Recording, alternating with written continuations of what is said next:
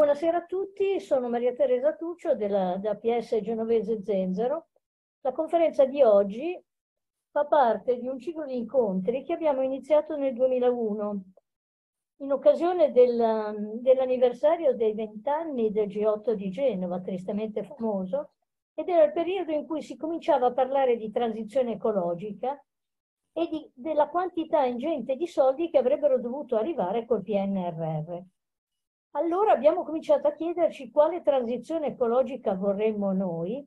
e su questo abbiamo iniziato a invitare esperti di vari campi, chiedendo il loro parere e cercando di approfondire gli argomenti per fare informazione, divulgare le informazioni, ma anche tentare di, eh, eh, scusate, per, per fare informazione, ma anche tentare di fare formazione perché come diciamo ormai da un po' di anni, le buone intenzioni non bastano più. Occorre avere delle nuove conoscenze e divulgarle. The best practice si diceva prima aspettando l'inizio della conferenza. Tutti gli incontri che sono stati fatti, anche i futuri, si, svol si svolgono in presenza allo Zenzero e online su Zoom. Sono tutti registrati e si può scaricare e ritrovare la registrazione sui nostri siti, sito dello Zenzero nella sezione attività il sito di Eco Istituto nella sezione progetti. L'incontro di oggi abbiamo voluto intitolarlo Gestione delle miniere urbane, perché oggi incontriamo Tiziana Merlino, cenovese, responsabile di Amio, e Danilo Vismara, del corrispondente AMSA di Milano. E perché miniere urbane? Perché vorremmo mettere l'accento sul fatto che è necessario pensare a recuperare, riciclare, riutilizzare, famose R di Latouche si diceva una volta, perché con il tasso di importazione di materie prime che ha l'Italia, ma anche l'Europa, distruggere, man mandare in cenere tutto sarebbe veramente un delitto. Su questo, dice, raccontavo con Federico stamattina un aneddoto. Io prendo un vino di nicchia della Liguria che si chiama Rossese da una cooperativa agricola di Albenga. Per Pasqua ho telefonato, ho chiesto, mh, avete la possibilità di mandarmi una scatola di sei, no? come al solito? E loro mi hanno detto, eh, il vino ce l'abbiamo, ma ci mancano le bottiglie. Perché la pandemia e la guerra dopo ci ha insegnato come le cose a cui eravamo abituati normale a volte non si trovano più, o perlomeno quando si trovano sono aumentate tantissimo. Questo per, per dire a che punto siamo. Prima di passare la parola al Circolo Zenzero, dove Federico Valerio ci e avvierà la conversazione, ci introdurrà gli ospiti. Volevo ricordare che per partecipare alla discussione finale preferiamo che le domande vengano poste in chat e vi chiedo la cortesia di tenere spenti microfoni e video per una migliore gestione della conferenza. Un'ultimissima cosa, ringrazio Christopher che ci fornisce il collegamento Zoom e ci segue pazientemente durante le nostre conferenze. A te Federico. Bene. Buonasera, buonasera a tutti i nostri due ospiti eh, che ringrazio per aver accettato il nostro invito. Ora appunto abbiamo qui presente eh, Tiziana Merlino che è una dirigente di Amio. Amio è l'azienda municipale di igiene urbana di Genova. Lei è responsabile per la comunicazione, cura i rapporti con i portatori di interesse e, la, e cura anche la gestione dei, dei flussi diciamo, dei materiali. Ehm, da Milano è qui con noi Danilo Vismara, dell'azienda eh, milanese Servizi Ambientali AMSA, è responsabile dello sviluppo dei servizi operativi, della valutazione del livello di gradimento del, del pubblico, questo è un aspetto molto interessante, e si occupa anche di una, è anche amministratore unico di una, di una società un po' particolare, si chiama Laborae, che però ne parleremo perché ripeto è molto interessante. Io chiederei a questo punto, per introdurre il tema, eh, chiederei a, Ma a, Maria Teresa di farci vedere la prima slide, che è quella che in qualche modo pensavamo di utilizzare per introdurre l'argomento di, questa, di questa serata. Prego, Maria Teresa.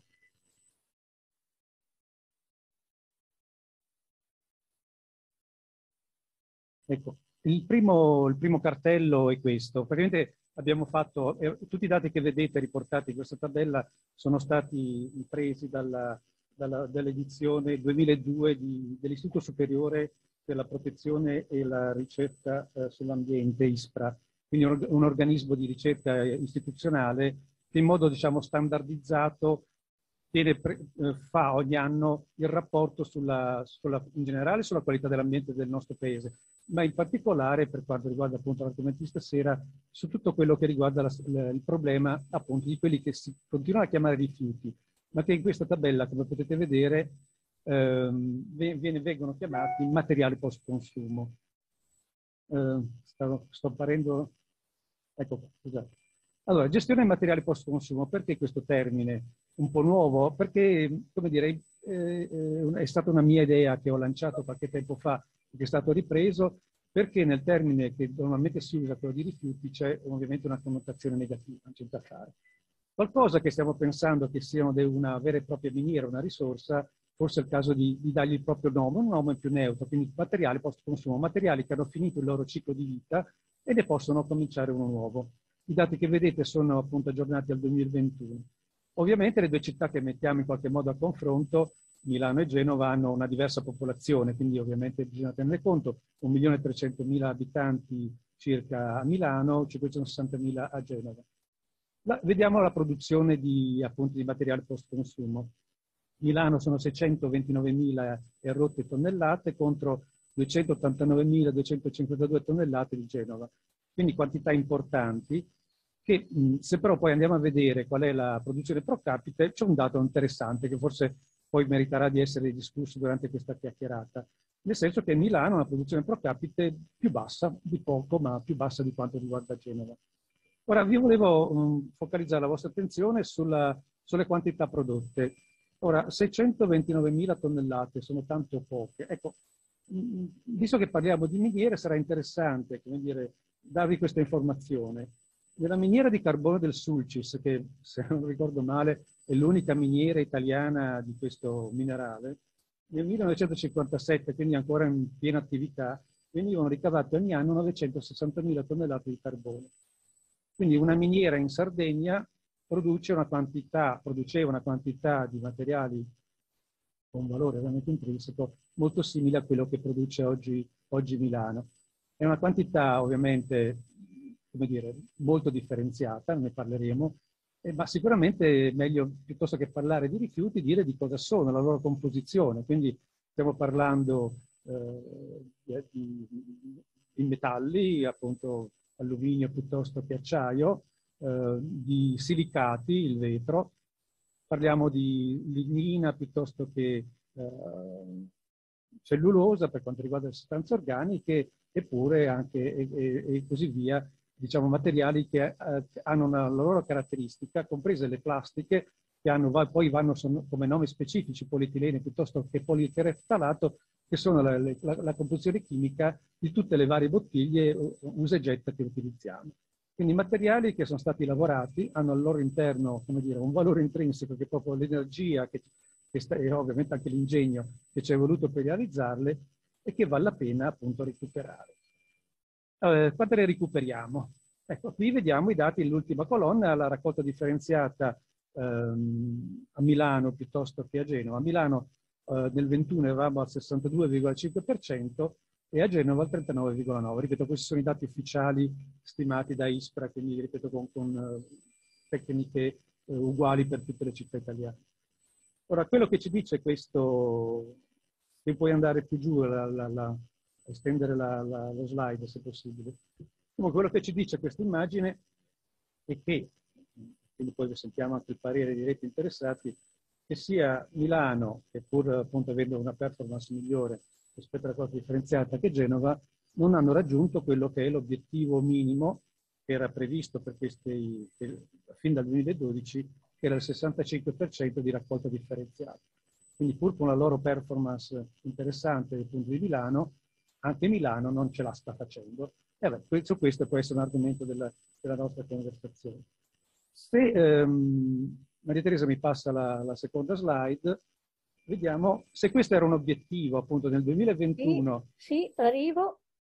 a livello, europeo, a livello italiano e europeo avremmo dovuto arrivare al 65%, c'è un altro obiettivo. Questo obiettivo riguarda, è più là, il 2030, ma gli anni passano veloce, ehm, quindi l'Unione Europea e la, nostra, anche la nostra legislazione ha recepito questo nuovo obiettivo, cioè che bisogna mettere nuovi cicli produttivi, quindi con un vero e proprio recupero di materia, quindi questo bisogna evidentemente esplicitarlo, il 60% di materiale post consumo, quindi di quello che è stato eh, raccolto in modo differenziato, quel 65% e oltre, il 60% se ne deve andare come recupero di materia. E per quanto riguarda gli imballaggi, l'obiettivo è più ancora più stringente, il 70% degli imballaggi, quindi lattine piuttosto che eh, bottiglie di plastica, devono essere eh, recuperati come materia.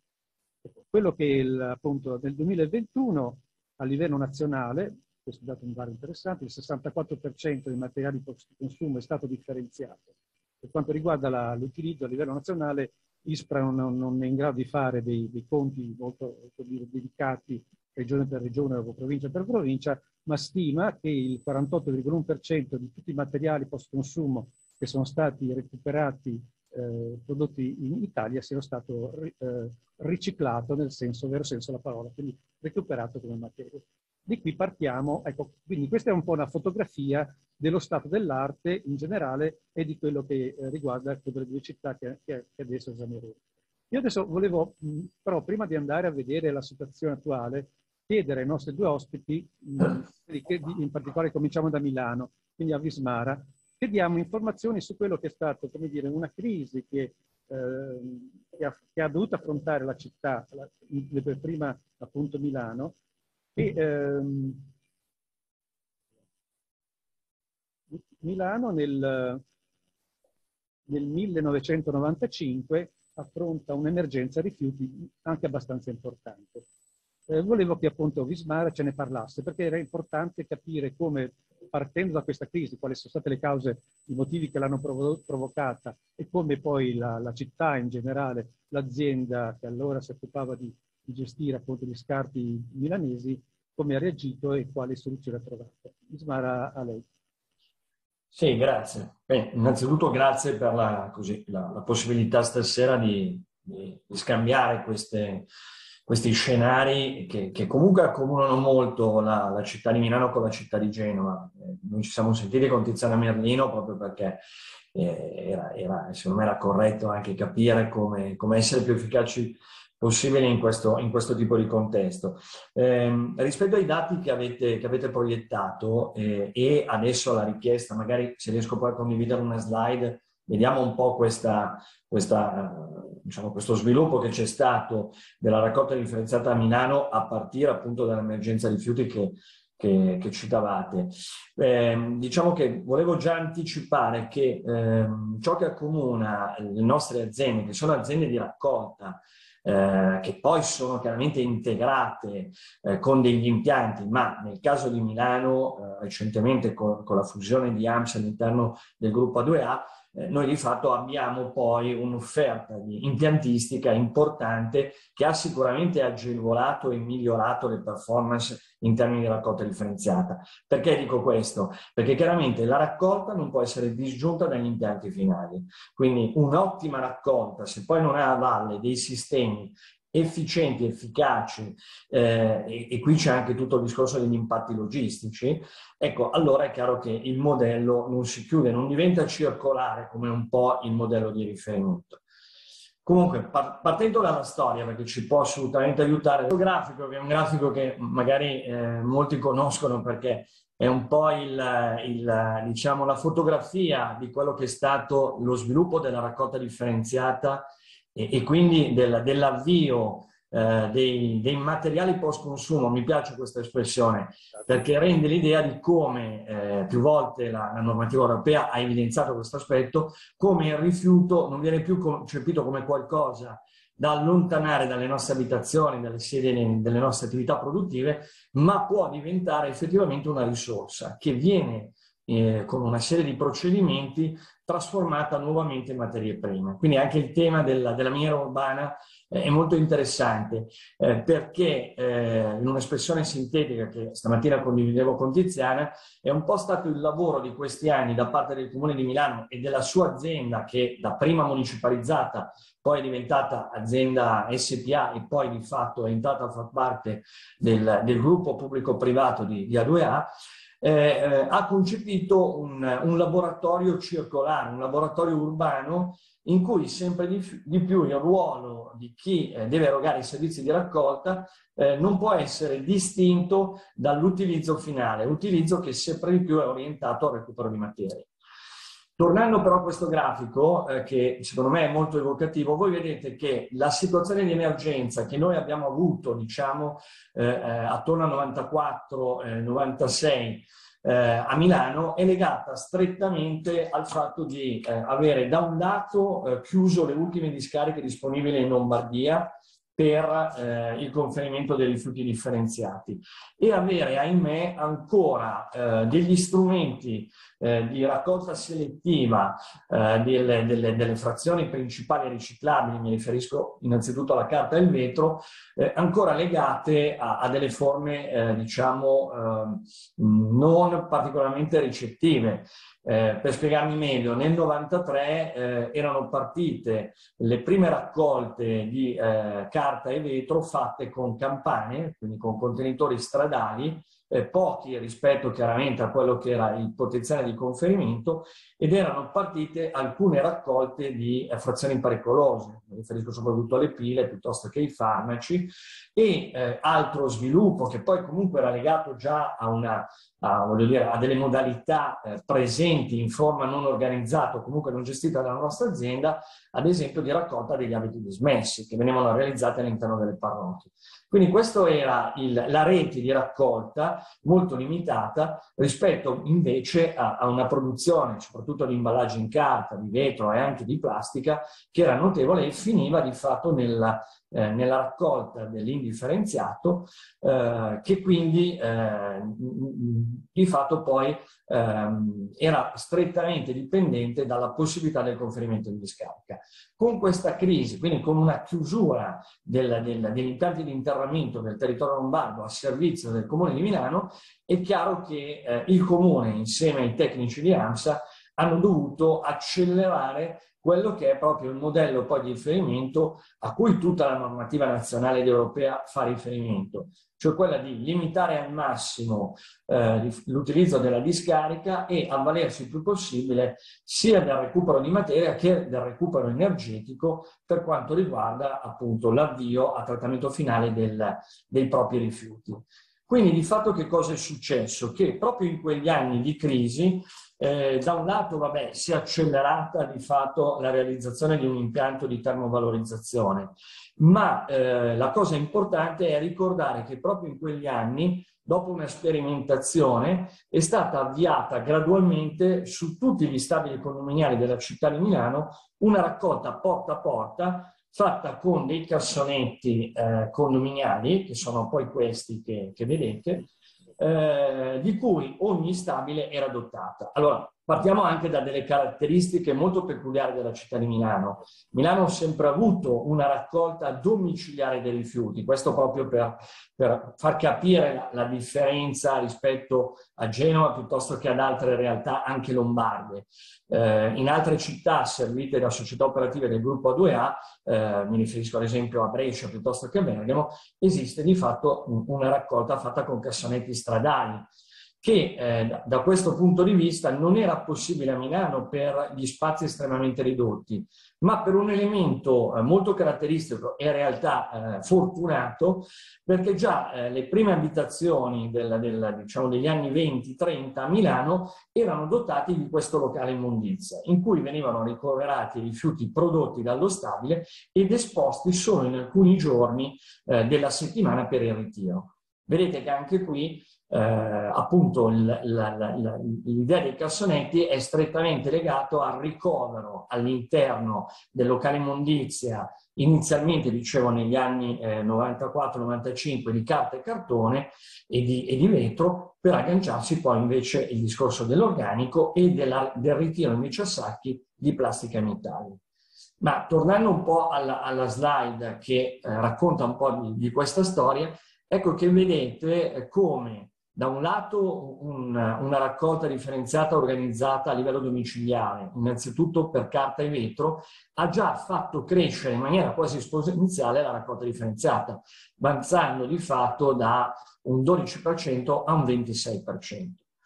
Eh, di fatto gli anni successivi, che vedete arrivano circa al 2012, sono degli anni in cui da un lato abbiamo migliorato eh, questo tipo di raccolta con una serie di campagne di comunicazione, perché eh, come sapete eh, pur avendo un servizio molto comodo per i milanesi, per il fatto che in qualsiasi ora del giorno e della notte scendo nel locale immondizia, trovo un cassonetto per la carta e il vetro e posso depositare questi, questi rifiuti. Però la cultura della differenziazione è una cultura che è cresciuta nel tempo, quindi ci sono stati molti investimenti in comunicazione e in quello che noi chiamiamo ingaggio della popolazione a tutti i livelli, in tutte le forme. Anche su questo tema magari ci sarà spazio, lo dico anche a Tiziana perché sono tanti progetti che ho visto anche di Amio Genova, che ci accomunano perché la cultura della separazione del rifiuto è una cultura che si acquisisce nel tempo, lavorando molto con gli strumenti di comunicazione, cercando di far capire alla popolazione, quindi mi riferisco innanzitutto ai cittadini, ma poi anche alle cosiddette utenze non domestiche, quindi dai negozi, supermercati, tutte le altre eh, realtà come gli uffici o le aziende stesse, far capire che questo sforzo è teso di fatto poi a un avvio a recupero di materia, a riciclo e non banalmente a un interramento. Quindi, eh, tornando un po' allo sviluppo del grafico, in quegli anni abbiamo lavorato molto sulle campagne di comunicazione, abbiamo poi introdotto questa raccolta eh, del,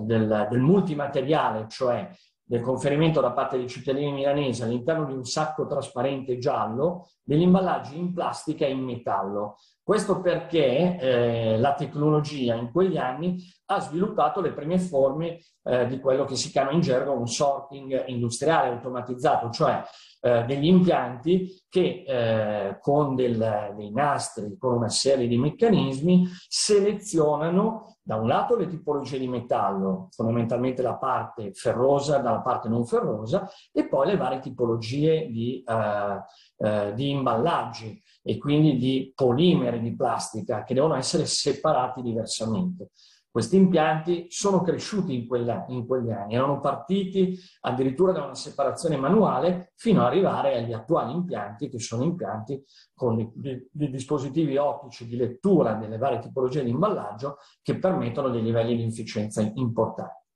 Però, come vedete, fino al 2011-2012, di fatto eh, la crescita non è, non è, più stata così eh, progressiva come è stata alla, alla, fine degli anni 90. Che cosa mancava nell'introduzione per portare un'altra frazione importante a riciclo? Era quella di cominciare eh, ad attivare eh, le prime raccolte della frazione organica del rifiuto urbano, la cosiddetta FORSU o la frazione umida. Di fatto, fondamentalmente, per la città di Milano eh, è rappresentata dagli scarti alimentari. In questo siamo molto diversi dalle città europee che anche con Tiziana abbiamo avuto modo di, di vedere, perché eh, soprattutto nel nord Europa eh, la frazione organica eh, in realtà ha meno la presenza di scarto alimentare e più di scarto vegetale. In realtà Milano è, è, è una, una, una, città che ha pochi giardini eh, privati, ha poche villette o abitazioni monofamiliari dove ci sia una produzione di verde eh, e quindi è molto prevalente invece il, il conferimento dello scarto alimentare. Allora, che cosa è stato fatto negli anni prima del 2012? Eh, è stato fatto dapprima una, una serie di sperimentazioni nell'offerta di un servizio orientato eh, alle attività commerciali. Eh, mi riferisco quindi a bar, ristoranti, mense, sia aziendali che scolastiche, dove chiaramente le quantità sono notevoli e già da subito, quindi stiamo, stiamo parlando di fatto eh, della fine del 97-98, abbiamo cominciato a progettare un servizio fatto a cassonetti eh, con un ritiro addirittura giornaliero in questo caso, proprio perché la produzione a livello di queste utenze collettive è una produzione importante e che non può prevedere anche per ehm, diciamo, condizioni igienico-sanitarie uno stoccaggio eh, su più giorni, oltre a un problema chiaramente di spazi. Quindi il servizio è stato organizzato da subito con eh, la consegna di eh, cassonetti marroni da 120-240 eh, litri, meglio il 120 perché comunque eh, è più facile anche da, da gestire, spesso addirittura il ristoratore si colloca quasi al, nel banco di preparazione del cibo questo tipo di cassonetto e poi viene utilizzato chiaramente per gli scarti non consumati dei cibi, dei cibi preparati. Ecco, diciamo che la raccolta, la raccolta dell'umido eh, commerciale eh, è stata sviluppata poi nel tempo, ma il vero e proprio eh, diciamo, balzo eh, dal, dal 2012, il vero e proprio salto, è stato appunto con l'introduzione della raccolta del, del rifiuto organico per le utenze domestiche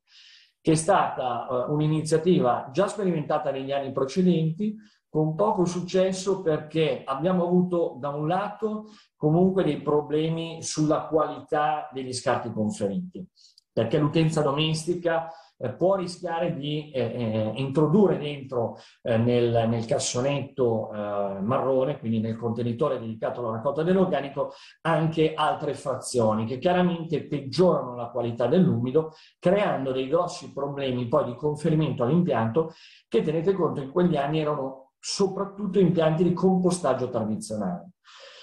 Con l'avvio invece primi, eh, delle prime sperimentazioni e poi dei primi impianti industriali di digestione anaerobica, quindi impianti basati su da un lato la produzione di biogas e dall'altro comunque la produzione di materiale che è il cosiddetto compost, eh, abbiamo potuto eh, avviare una raccolta eh, organica e sistematica per le famiglie milanesi. Questo progetto è un progetto che ci ha impegnato parecchio, infatti vedete che eh, la, la crescita dal 2012 arriva poi attorno al 2015. Eh, ci sono voluti di fatto eh, ben tre anni perché abbiamo dovuto proporre alla città di Milano questo servizio gradualmente, abbiamo diviso eh, la città in quattro quadranti che poi corrispondono ai quattro eh, dipartimenti operativi con cui è strutturata l'organizzazione operativa di AMSA e abbiamo fatto una consegna porta a porta ai vari civici eh, di uno o più cassonetti a seconda delle famiglie residenti al, al, all'interno dello stabile. Questa operazione è stata un'operazione molto interessante anche dal punto di vista del coinvolgimento dei nostri addetti eh, e della campagna di comunicazione, perché adesso cerco di essere sintetico perché è molto lungo il racconto e vorrei lasciare spazio alla collega, però sintetizzando eh, abbiamo organizzato una consegna porta a porta in cui erano addirittura i nostri autisti, i nostri operatori a consegnare poi il materiale Adesso qui magari velocemente passo a questa slide. Scusate, eh. per ritrovare. Ecco qua. Quindi noi abbiamo consegnato di fatto eh, il, il, il, cassonetto da 120 litri a tutte le portinerie, a tutti i civici e però a tutte le unità familiari abbiamo consegnato, vedete quel cestello da, da 10 litri, con all'interno anche dei sacchi compostabili, perché chiaramente questo è l'altro grande problema della qualità dell'organico, di non utilizzare sacchetti in plastica perché poi diventano problematici,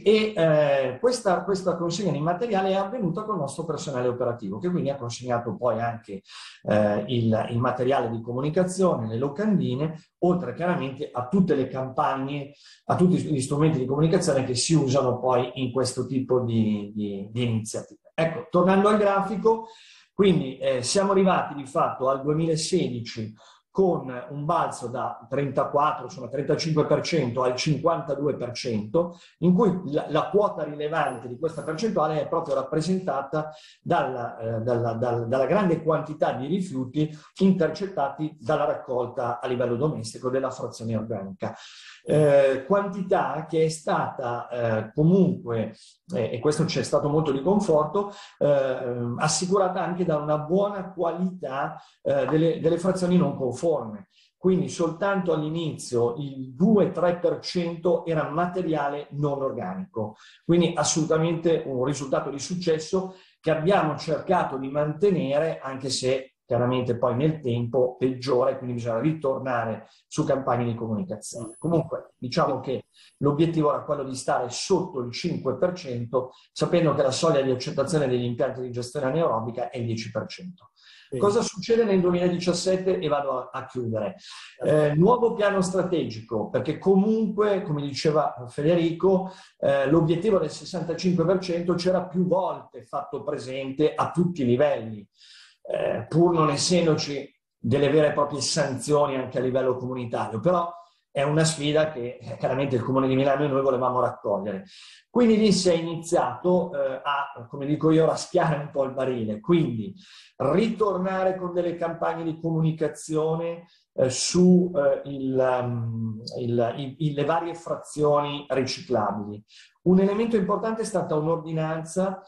questo per far capire quali sono poi le leve, sono tante quelle per migliorare la qualità e la quantità della raccolta differenziata. C'è stata un'ordinanza nel 2017 che ha proibito l'utilizzo per l'esposizione dell'indifferenziata, che fino a quell'epoca avveniva con il cosiddetto sacco nero, l'obbligo invece dell'utilizzo del sacco trasparente. Vedo che Tiziana annuisce, ma perché, eh, guardate, è, pazzesca questa cosa, cioè questo vuol dire che tu eh, portinaio dello stabile che, che, che, gestisci, stai mettendo fuori magari delle quantità di frazione riciclabile che è immediatamente intercettabile eh, sia dai vicini, dai condomini, ma che poi dagli ispettori e dalla, e dalla polizia eh, municipale. Quindi l'ordinanza è stata, è stata, appunto varata, si è dato un certo numero di mesi di, di, franchigia, cioè si è chiuso un po' gli occhi, ma poi hanno iniziato a, a fioccare le multe.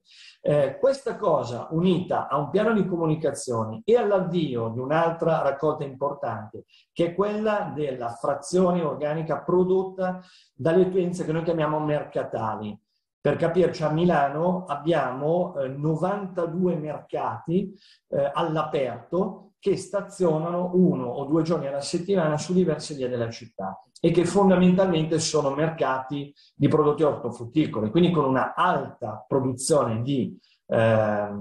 scarto organico e anche di imballaggi, soprattutto cassette in legno, imballaggi in plastica e in cartone. Ecco, con questo piano strategico, ad esempio, in quel caso e, e, questo è un altro elemento che volevo condividere poi con voi, eh, come abbiamo cercato di, eh, quello che in gergo noi diciamo, customizzare, cioè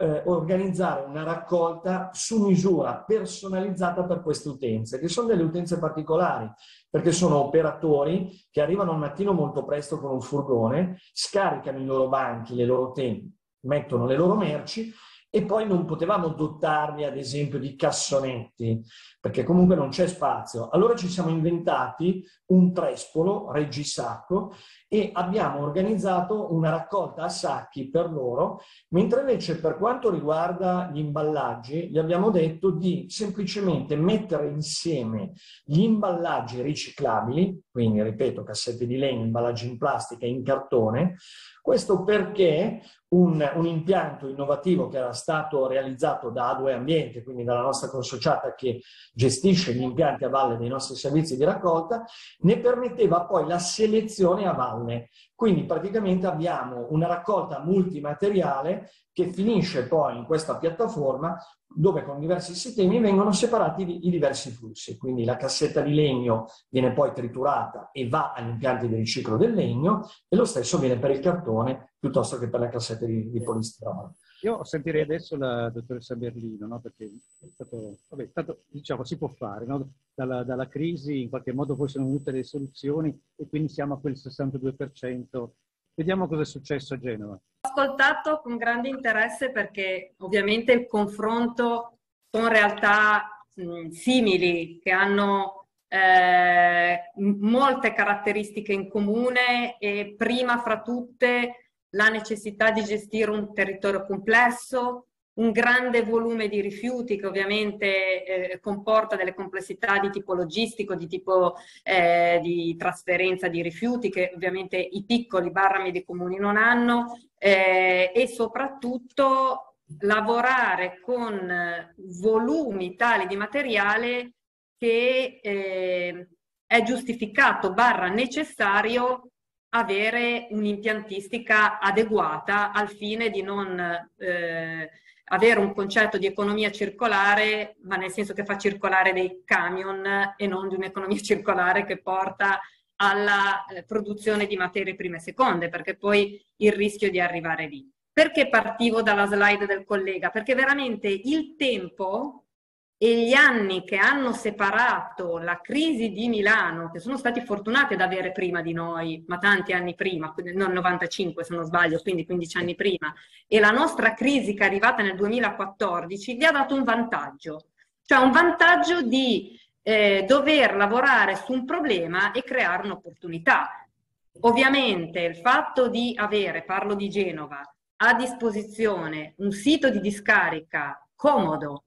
eh, un sito di discarica ampio, un sito di discarica che potesse garantire uno smaltimento dei, dei rifiuti raccolti con un costo relativamente basso, ma dico soprattutto comodo perché era l'unico impianto di fatto vero per la gestione dei rifiuti in città.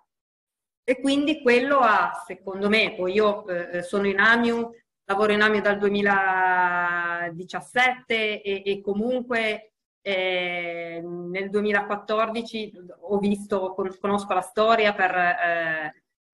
per come è stata documentata e comunque fino a quel momento l'azienda non ha dovuto eh, necessariamente spingere l'acceleratore sulla raccolta differenziata e soprattutto sulla realizzazione di impianti per il trattamento delle, eh, dei materiali da raccolta differenziata. Quindi questo ha, eh, secondo me, rallentato un po' il percorso. Cosa è successo nel 2014? Nel 2014 è stata veramente una grande crisi ed è un po' la crisi che vivono tutte le città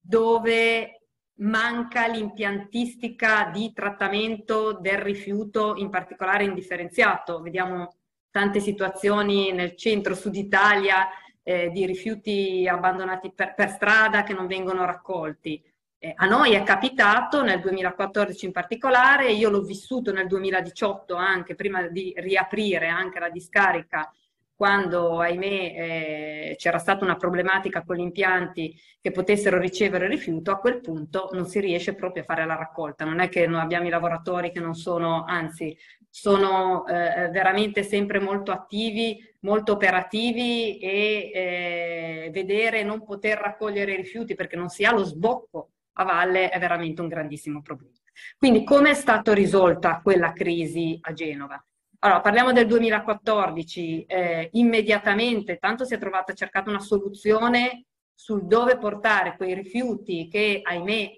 non erano differenziati nella maggior parte del volume a eh, smaltimento, quindi impianti barra discariche piuttosto che termovalorizzatori, e nello stesso tempo avviare eh, un percorso di incremento della raccolta differenziata.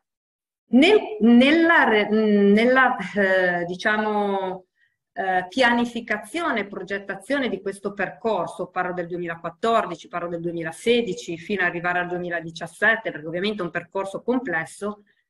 è necessario fare un ragionamento e, e pensare all'azienda, AMIU nel nostro caso, che doveva fare certi tipi di attività e anche investimenti. Eh, un'azienda in house, un'azienda che si trovava ad avere una problematica anche di costi di smaltimento ovviamente che si generava. In house, chiedo scusa perché magari... Sì, assolutamente sì, scusate. In house è un'azienda eh, totalmente pubblica, quindi Amio è un'azienda il cui capitale è eh, di proprietà pubblica, in particolare in questo momento del comune di Genova e della città metropolitana di Genova, questo dopo il 2020, e il concetto di in-house si ha quando la società è proprio sotto il controllo pubblico e sulla quale l'ente pubblico, diciamo socio, esercita un cosiddetto, si chiama controllo analogo, ovvero lo stesso controllo che ha sui propri uffici. Quindi noi di fatto siamo un soggetto pubblico a tutti gli effetti nella nostra eh, operatività quotidiana, nel senso che siamo soggetti al codice appalti, quindi dobbiamo fare gare pubbliche, siamo soggetti alla, alle, ai concorsi pubblici per l'assunzione delle persone, eccetera, eccetera. E ovviamente anche nella capacità di investimento, eh, diciamo così, eravamo, siamo stati per un po' di tempo anche limitati rispetto, punto primo, a quello che poteva essere la eh, durata del contratto di servizio che era proprio la sostanza del nostro lavoro, quindi il contratto per il servizio della raccolta e gestione dei rifiuti urbani nel comune di Genova che scadeva eh, nel 2020. Dall'altro un aumento di costi che eh, ovviamente poi non, non voglio entrare in tecnicismi, però i costi di smaltimento o extra costi che sono stati chiamati, noi poi a Genova c'è stato molto dibattito sugli extra costi di smaltimento, che per quanto mi riguarda non erano extra costi, erano i costi di smaltimento. Smaltire rifiuti costa, trasportare rifiuti costa. Ovviamente nella situazione di Genova che con la discarica di Scarpino aveva un basso costo di smaltimento, un basso costo di trasporto, quindi questo è un po' eh, il contesto. Per cui noi abbiamo, ehm, lascio da parte tutte le varie situazioni del, del momento, ma abbiamo iniziato, diciamo così, la nostra via verso eh, l'incremento della raccolta differenziata, diciamo così, dal 2017-2018, non perché la sottoscritta assunto il ruolo di, di, di, direttore generale, ma perché erano cambiate determinate condizioni. C'è stata eh, l'opportunità di vedersi riconosciuti da parte del comune i costi che erano stati sostenuti dalla società e quindi questo ci ha permesso anche di poter iniziare a fare qualche investimento ma la svolta noi l'abbiamo avuta nel 2021, quindi sono passati un po' di anni, adesso stiamo lavorando su un nuovo piano industriale con l'obiettivo del 65% di raccolta differenziata al 2024. E, ehm, dicevo, la svolta è arrivata nel 2021 quando Amiu Genova è diventata il gestore unico affidamento in house da parte eh, quindi affidamento diretto da parte della città metropolitana di Genova, della gestione per 15 anni del contratto di servizio eh, relativa alla gestione appunto de, de, del ciclo integrato dei rifiuti per la città di Genova e per tutto il cosiddetto genovesato, che sono una, un ambito diciamo di 30 comuni eh, in provincia di Genova. Avete una garanzia di 15 anni? Di... Assolutamente, questo cosa ha dato? Una continuità aziendale di lungo termine, ci ha dato la possibilità di avere eh, diciamo, la giusta copertura anche economica e finanziaria per poter fare investimenti e abbiamo iniziato il nostro percorso per l'incremento della raccolta differenziata. Possiamo vedere questo a Milano, abbiamo già avuto un po' la storia. Confronto tra gli anni 2019, 20, 21 e 22, dove si può vedere che già tra il 20 e il 21 iniziamo eh, un po', c'è, c'è un po' di discontinuità, no? Quindi abbiamo avuto anche il Covid, che non so bene eh, quanto abbiamo. Allora, il Covid è no? stata una parentesi no, per quanto voglio... ci riguarda, assolutamente particolare, una, una parentesi complessa, perché ovviamente dal punto di vista della gestione aziendale eh, il collega lo saprà benissimo, noi abbiamo comunque dovuto garantire un servizio pubblico, ovviamente a numeri ridotti perché la produzione dei rifiuti si è abbassata molto in tutte le città perché essendo chiusi tutti gli esercizi commerciali banalmente si è ridotto, non essendoci turismo, altre cose, però eh, le nostre squadre, i lavoratori dovevano essere eh, diciamo operativi, operativi sempre e comunque. In più su Genova e comunque sulla Liguria, cosa che non credo che sia successa in Lombardia, eh, non avendo disponibilità eh, di termovalorizzatori, comunque c'è stata una, una, normativa regionale che ha previsto la raccolta domiciliare dei rifiuti potenzialmente, eh, diciamo così, contaminati a casa di tutti i soggetti affetti da Covid, con, eh, che ovviamente noi non facevamo direttamente perché eh, non, diciamo, non perdevano un po' la qualificazione di, di, rifiuto, di, rifiuto, urbano, però abbiamo noi gestito tutta la logistica e l'affidamento a ditte terze specializzate che sono andate a fare questa raccolta. eh, presso le famiglie. Comunque il volume dei rifiuti si è ridotto, eh, si è ridotta anche un po' la raccolta differenziata perché c'era questa logica del sacco unico eh, per poter poi mandare a smaltimento tutto, ma mh, diciamo che non ci ha fermato nei nostri progetti, nel senso che per noi il 2020 è stato l'anno in cui abbiamo lavorato sul nuovo contratto. Quindi con eh, l'affidamento nuovo è stato sottoscritto a luglio eh, del 2020 con partenza prima gennaio 2021. Quindi primo gennaio 2021 pronti via, nuovo contratto di servizio. Nuovo contratto di servizio che ha, eh, diciamo così, previsto appunto questo sviluppo della raccolta differenziata. Qui ho un'immagine eh, diciamo di quello che sta succedendo, che è successo nel 2022 e come sta andando, scusate che non vedo, nel, nel, diciamo nel 2023 con anche un po' quella che è nostra, il nostro obiettivo annuo, eh, i numeri ci stanno, diciamo così, confortando perché eh, effettivamente la raccolta differenziata sta salendo. Eh, il dato che hai presentato tu all'inizio, 39,9, era il dato del 2021. Sì, lo Nel 2000, perché ISPRA ovviamente ha il dato certo. 2021, nel 2022 abbiamo, eh, diciamo così, superato il, il 43%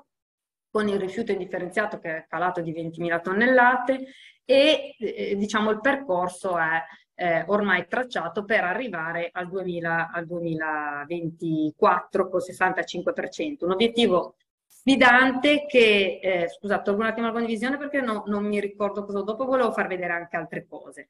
Volevo far vedere questo perché tutto il nostro progetto industriale, piano industriale per l'incremento della raccolta differenziata che si differenzia dal modello di raccolta che ha eh, eh, Milano con questo modello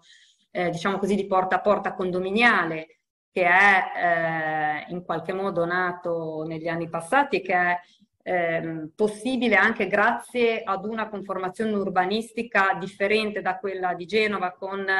eh, diciamo, le palazzine con il portierato, con la possibilità di avere zone di ricovero dei, dei cassonetti, appunto con il portinaio, cioè c'è un po' una tradizione, una logica un pochettino diversa che ha permesso questo. La scelta di modello di raccolta, che è quella prevista nel piano industriale, che sta che ha previsto un investimento di oltre 90 milioni di euro su eh, attrezzature e sistemi di raccolta, è stata quella delle ecoisole che diventeranno ad accesso controllato. Queste sono un po' le immagini, ma banalmente chi è, appunto, chi è di Genova eh, conosce, ormai ha imparato a conoscere queste ecoisole, non sono una novità, altre grandi città stanno implementando questo tipo di sistema di raccolta, Torino aveva iniziato col porta a porta e ha eh, diciamo virato su questo modello di raccolta. E, ehm, in questo momento noi stiamo installando i sistemi senza accesso controllato, quindi l'accesso è libero, c'è solo la necessità di schiacciare un bottone che sta creando una serie di problemi, ma non è assolutamente un problema, nel senso che sblocca il cazzonetto che è già predisposto per l'accesso controllato e quindi la possibilità poi in futuro di applicare la tariffazione puntuale. Che cosa, a che cosa sta servendo in una città di, come Genova questo tipo di progetto di installazione di cassonetti? Intanto serve a fare ordine. Ordine e a ehm, installare sul territorio un numero di volumi di cassonetti che sia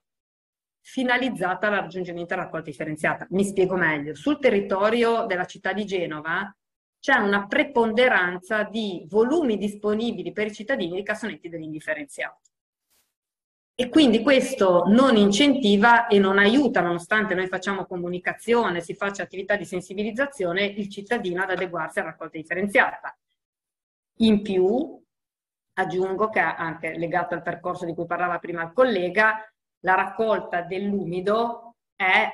veramente di recente eh, diciamo così, mh, mm, avvio in tutta la città. Adesso questi sono i cassonetti dell'organico che sono legati alle ecoisole, ma anche noi abbiamo iniziato un'attività di distribuzione dei cassonetti, diciamo, ehm, personalizzati o comunque mh, de dedicati alle utenze non domestiche, bar, ristoranti, per facilitare la raccolta appunto del, dell'umido nel, in questi tipi di utenze, che ovviamente nel momento in cui si spinge sulla raccolta dell'umido automaticamente è la leva per poter eh, diciamo così, svoltare e eh, cambiare i numeri rispetto a, è, a quella che è la raccolta differenziata.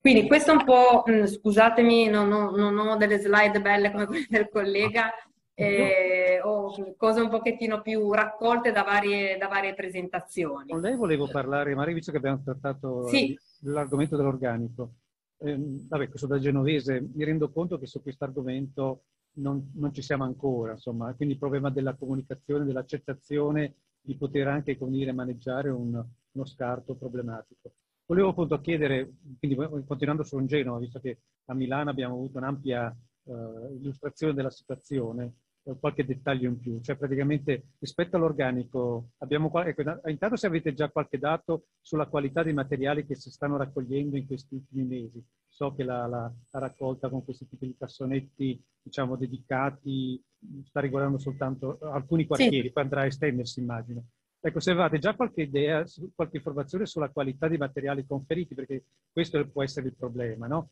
Eh, l'altra era una domanda che volevo cominciare a rivolgere a lei, poi eventualmente la giriamo al collega di Milano, a Vismara, era il, il, se avete qualche informazione sul grado di soddisfazione del servizio da parte dei, dei, dei cittadini. Insomma, i genovesi mugugnano, stanno mugugnando per, queste, per questa, loro, questi cambiamenti delle abitudini che ovviamente stiamo introducendo giustamente, o sono tutti belli contenti? Eh, qualche, qualche riscontro a riguardo? Allora, eh, intanto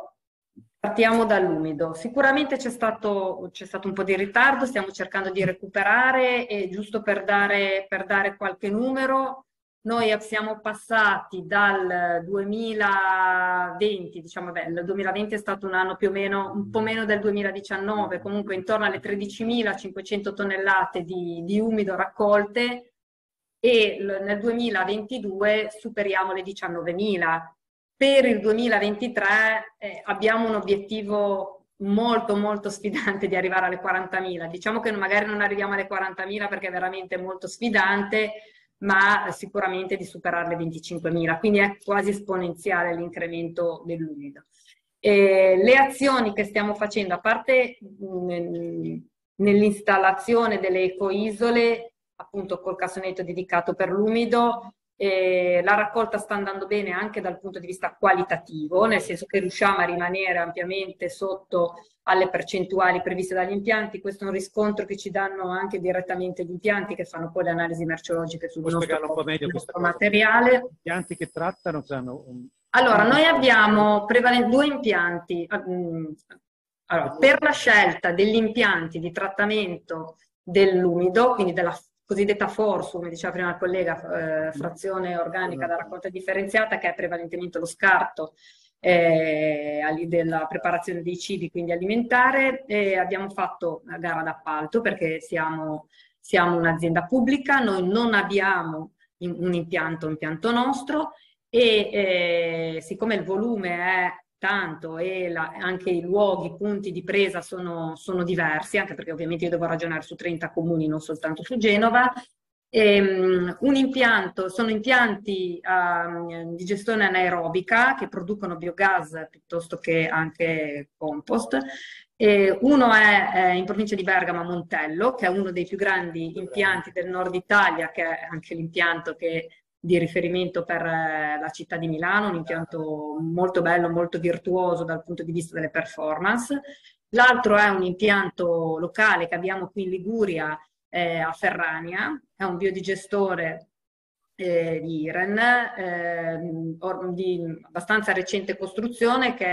aveva prima una dimensione ovviamente molto più piccola di Montello, eh, autorizzata di 30.000 tonnellate l'anno, che ha fatto poi diciamo così un raddoppio ha, ha una capacità di trattamento di 60.000 tonnellate l'anno. Eh, ovviamente questo impianto serve, sta servendo il, tutta la provincia di Savona piuttosto che tutta una parte della, di Liguria e in parte sta prendendo anche, anche il, nostro, il, nostro, rifiuto. Abbiamo fatto una gara a due lotti, quindi una parte va diciamo 50 e 50 in un impianto e una parte nell'altro. Nessuno dei due impianti negli ultimi periodi, anzi, ci hanno diciamo così, manifestato un positivo riscontro rispetto alla qualità del materiale. Quindi i genovesi si stanno comportando bene quantomeno lato umido, un po' meno bene rispetto ad altri rifiuti e questo è un tema che potremmo aprire, in particolare la plastica, che invece è, è molto, tra virgolette, inquinata da materiali non conformi. Il materiale non conforme, ci tengo a dirlo, è anche il sacchetto certo. biodegradabile con cui eh, butto il, la plastica. Quella, eh, comunque non ha fatto studi di, come si chiama, customer satisfaction. Insomma, allora, rispetto alla customer satisfaction, in realtà noi abbiamo fatto una, un'indagine, ma non soltanto sul, sull'umido, l'abbiamo fatta in generale sui servizi di AMI, sul nuovo sistema di raccolta eh, queste ecoisole, però non ho ancora i risultati oh, ufficiali. Me ne presentano la settimana prossima, mi hanno, mi hanno accennato che sono abbastanza positivi. Poi ovvio che eh, avere a che fare con una nuova modalità di raccolta, cambiare le abitudini delle persone è veramente è molto complesso. Ci vuole molta comunicazione, molto coinvolgimento, poi lo vedremo, lo vediamo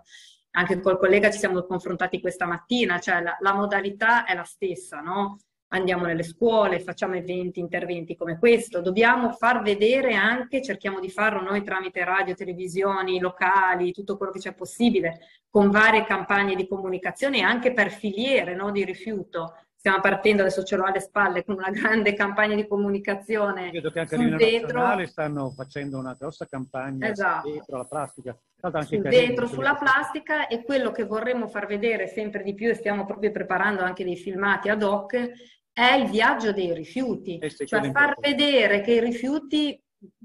mm, percorrono un viaggio verso il riciclo, verso il recupero di materia, non vanno necessariamente. Io volevo sentire Vismara se Milano aveva qualche elemento in più rispetto appunto a questo. Quali sono, cioè, se loro hanno già diciamo, delle, degli studi fatti sul, su quanto appunto la, i milanesi apprezzino o meno il servizio offerto e quanto questo può essere servito eventualmente per migliorare eh, la,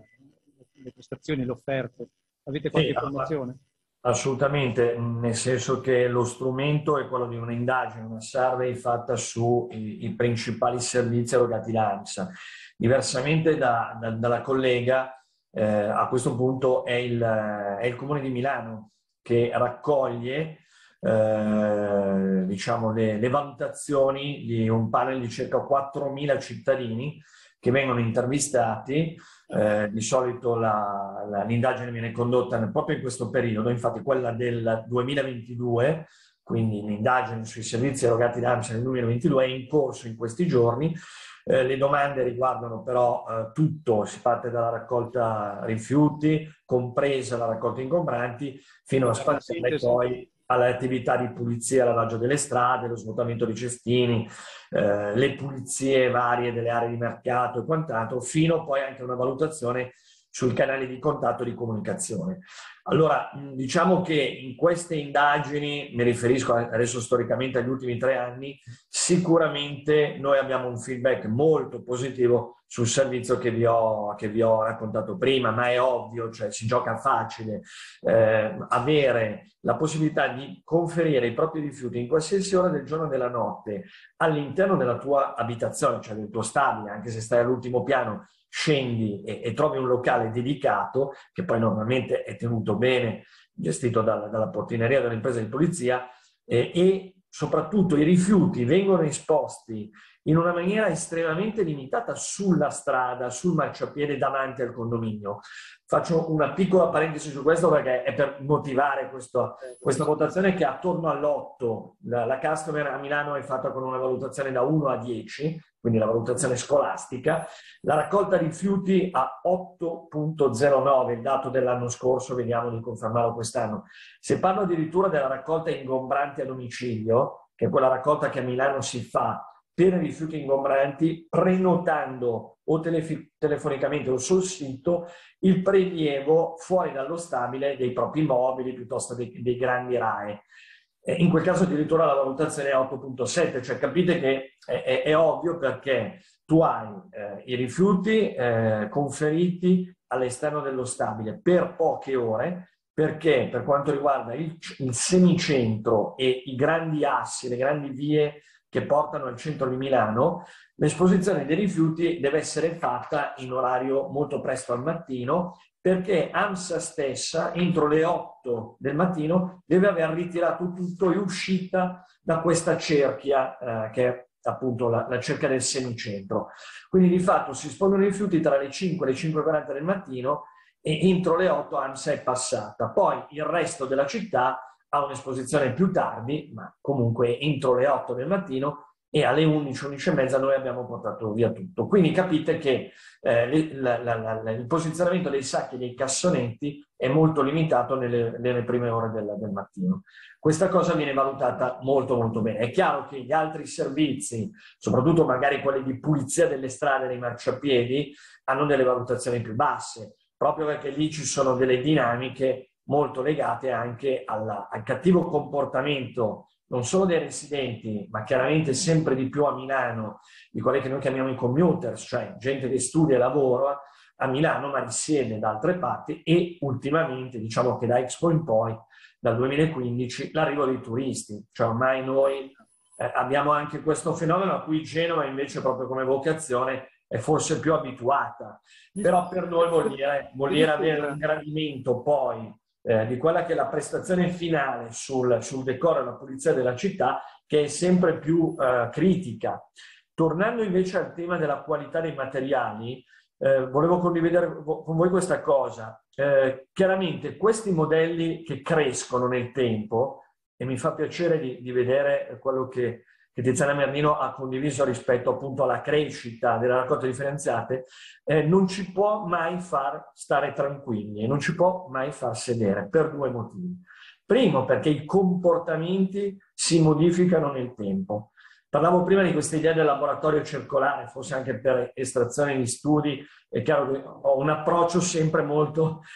marketing, però noi abbiamo visto, e la mia area del, del, marketing, che lavora poi con quella della comunicazione, anche di A2A, quindi della nostra corporate, che si occupa anche di energia, eh, di, di,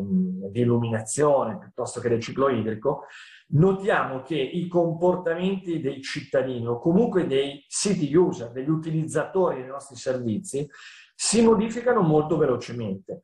Eh, condividevamo con Tiziana un fenomeno che da noi è esploso soprattutto nel 2015 e ha avuto un apice durante il, il, il Covid, che è quello dell'e-commerce che ha modificato di fatto gli stili di consumo, di acquisto e, e, e, quindi di consumo dei residenti, ma anche delle aziende stesse. E quindi velocemente le nostre aziende si devono adeguare a queste cose. Noi addirittura avevamo una raccolta eh, effettuata proprio per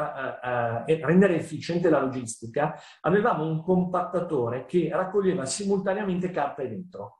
chiaramente non mischiava il materiale, l'abbiamo scritto anche a caratteri cubitali sui mezzi, perché molti dicevano già mi fate separare la roba in casa e poi la mettete tutto assieme. No, due comparti separati in modo tale che staziono davanti al tuo stabile ma contemporaneamente carico cassonetto del metro e cassonetto della carta. Durante il 2015 con la crescita dell'e-commerce la produzione di imballaggio in cartone di dimensioni piccole perché quello del, di, di chi fa delivery di, di, questi prodotti ha aumentato la produzione dei nostri cassonetti, per cui a questo punto eh, abbiamo preferito eh, utilizzare un compattatore dedicato. Ho citato quello dell'e-commerce, ma ce ne sono tante altre. Eh, adesso stiamo assistendo, addirittura c'è stata anche un, una nascita di un nuovo consorzio dedicato ai nuovi imballaggi e prodotti compostabili, perché a questo punto la grande distribuzione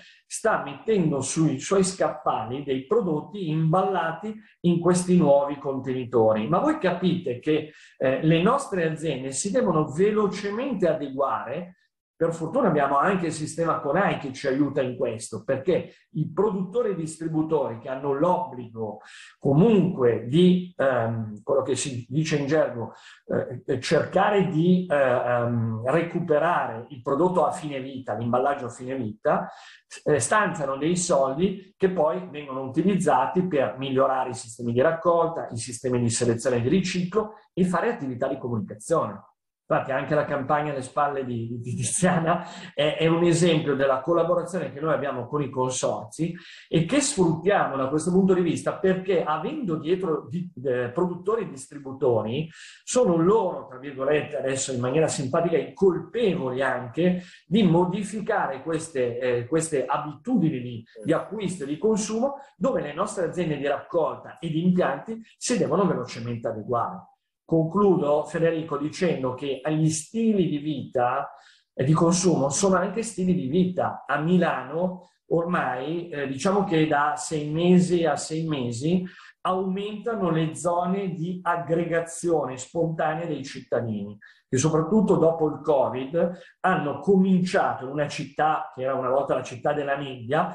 invece a voler stare fuori all'aperto, quindi locali che hanno amplificato i Deor, occupazione di interi marciapiedi dove i nostri mezzi spesso fanno fatica a passare per la raccolta rifiuti, aumento anche qua di imballaggi di un certo tipo, divieti di consumo, ordinanze per vietare l'utilizzo delle bottiglie di vetro, perché i fenomeni di movida possono poi essere legati a problemi di sicurezza, e dall'altro aumento di bicchieri magari non spesso in, eh, in materiale compostabile ma in plastica tradizionale. il prodotto mi pare interessante, cioè questa rapida evoluzione anche delle, delle, dei, dei modi di consumare l'importanza che le vostre aziende si adeguino con tempi altrettanto rapidi. Io adesso volevo con, con la dottoressa Merlino introdurre un altro argomento, che era quello delle, chiamiamole isole ecologiche o delle case del riuso. Un altro argomento, mi eh, pare dalla chiacchierata che abbiamo fatto prima, qualche problema c'è rispetto alla, mentre la, dire, la raccolta del, del, a Milano a 8 di, di punteggio, ho avuto l'impressione che rispetto al fatto di avere sotto casa appunto una cosiddetta isola ecologica non sia una cosa gradita. Eh, volevo che ne parlaste un attimo, eh, però la, volevo che ne parlasse un attimo eh, la dottoressa Berlino perché appunto noi abbiamo questo problema proprio questione di questi giorni, no? si sta proponendo un'isola ecologica in un nuovo quartiere e ci sono i comitati che dal loro punto di vista probabilmente hanno anche ragione, si, Ecco, volevo che parlaste un attimo di questo, anche sì. delle case del riuso, che mi sembra un altro argomento sì. interessante, su cui Genova qualcosa di importante aveva anche già fatto, poi sono stati un po' di problemi, immagino, su questo magari se ci può raccontare come, come, stiamo, sì. come state, le scelte che state facendo e su questo tema, com'è la situazione a Genovese, poi magari sentiamo un attimo poi dopo, subito dopo Milano. Allora, assolutamente, intanto ti ringrazio anche della, della domanda e dell'argomento che è fondamentale affrontare e sul quale è fondamentale fare tanta comunicazione, tanta informazione. Soprattutto perché le isole ecologiche, centri di raccolta, eh, diversi modi per chiamarla, a me piace anche chiamarli eh, abbiamo un concetto di polo per l'economia circolare, poi vi spiego perché e mi piace identificarli così. Che sono, nome gli avete dato? Mi non sono, esatto, non sono una servitù, ma sono un servizio per i cittadini. È un modo per poter garantire ai cittadini la possibilità di fare la raccolta differenziata o comunque di disfarsi in maniera corretta di determinati materiali che non sono più, per cui eh, si ritiene non, non, non servano più, non, è, non, essere più utilizzabili e quindi diventano, diciamo così, nel, nella esigenza del cittadino un rifiuto ad un certo punto, devono buttarlo via da qualche parte e che non possono essere conferiti nei cassonetti, perché non c'è il cassonetto per il legno, per eh, il, il giocattolo di plastica dura perché è sbagliato metterlo nel cassonetto della plastica, perché è sbagliato mettere nel cassonetto dell'indifferenziato che poi dovrebbe essere secco residuo un vecchio mobiletto o un phone che non uso più perché mi si è rotto. Assolutamente. O un cellulare. Quindi, o un cellulare, a maggior ragione. Questi sono tutti materiali post consumo, rifiuti, chiamiamoli come vogliamo, che hanno dei flussi e dei, dei, dei percorsi, dei processi di eh, riciclo anche virtuosi o potrei anche dire di riuso se parliamo dei centri del riuso che non vanno dimenticati. Quindi punto primo, le, le, isole ecologiche, chiamiamole come volete, centri no, di raccolta. Polo, dell'economia circolare mi piace come termine. Possiamo... Polo dell'economia circolare, poi vi faccio vedere anche le slide di Bene. due progetti molto interessanti che sono stati sì, finanziati da PNRR. Slide, scusa, pensavo che poi se magari facendo anche da, parte vostra un po' di selezione, perché visto che ne avete anche Andiamo, sì. molti, se sì. ce le mandate, eh, poi possiamo a nostra volta come dire, fare in modo che chi ci ha seguito possa eventualmente vedere. Volentieri, volentieri.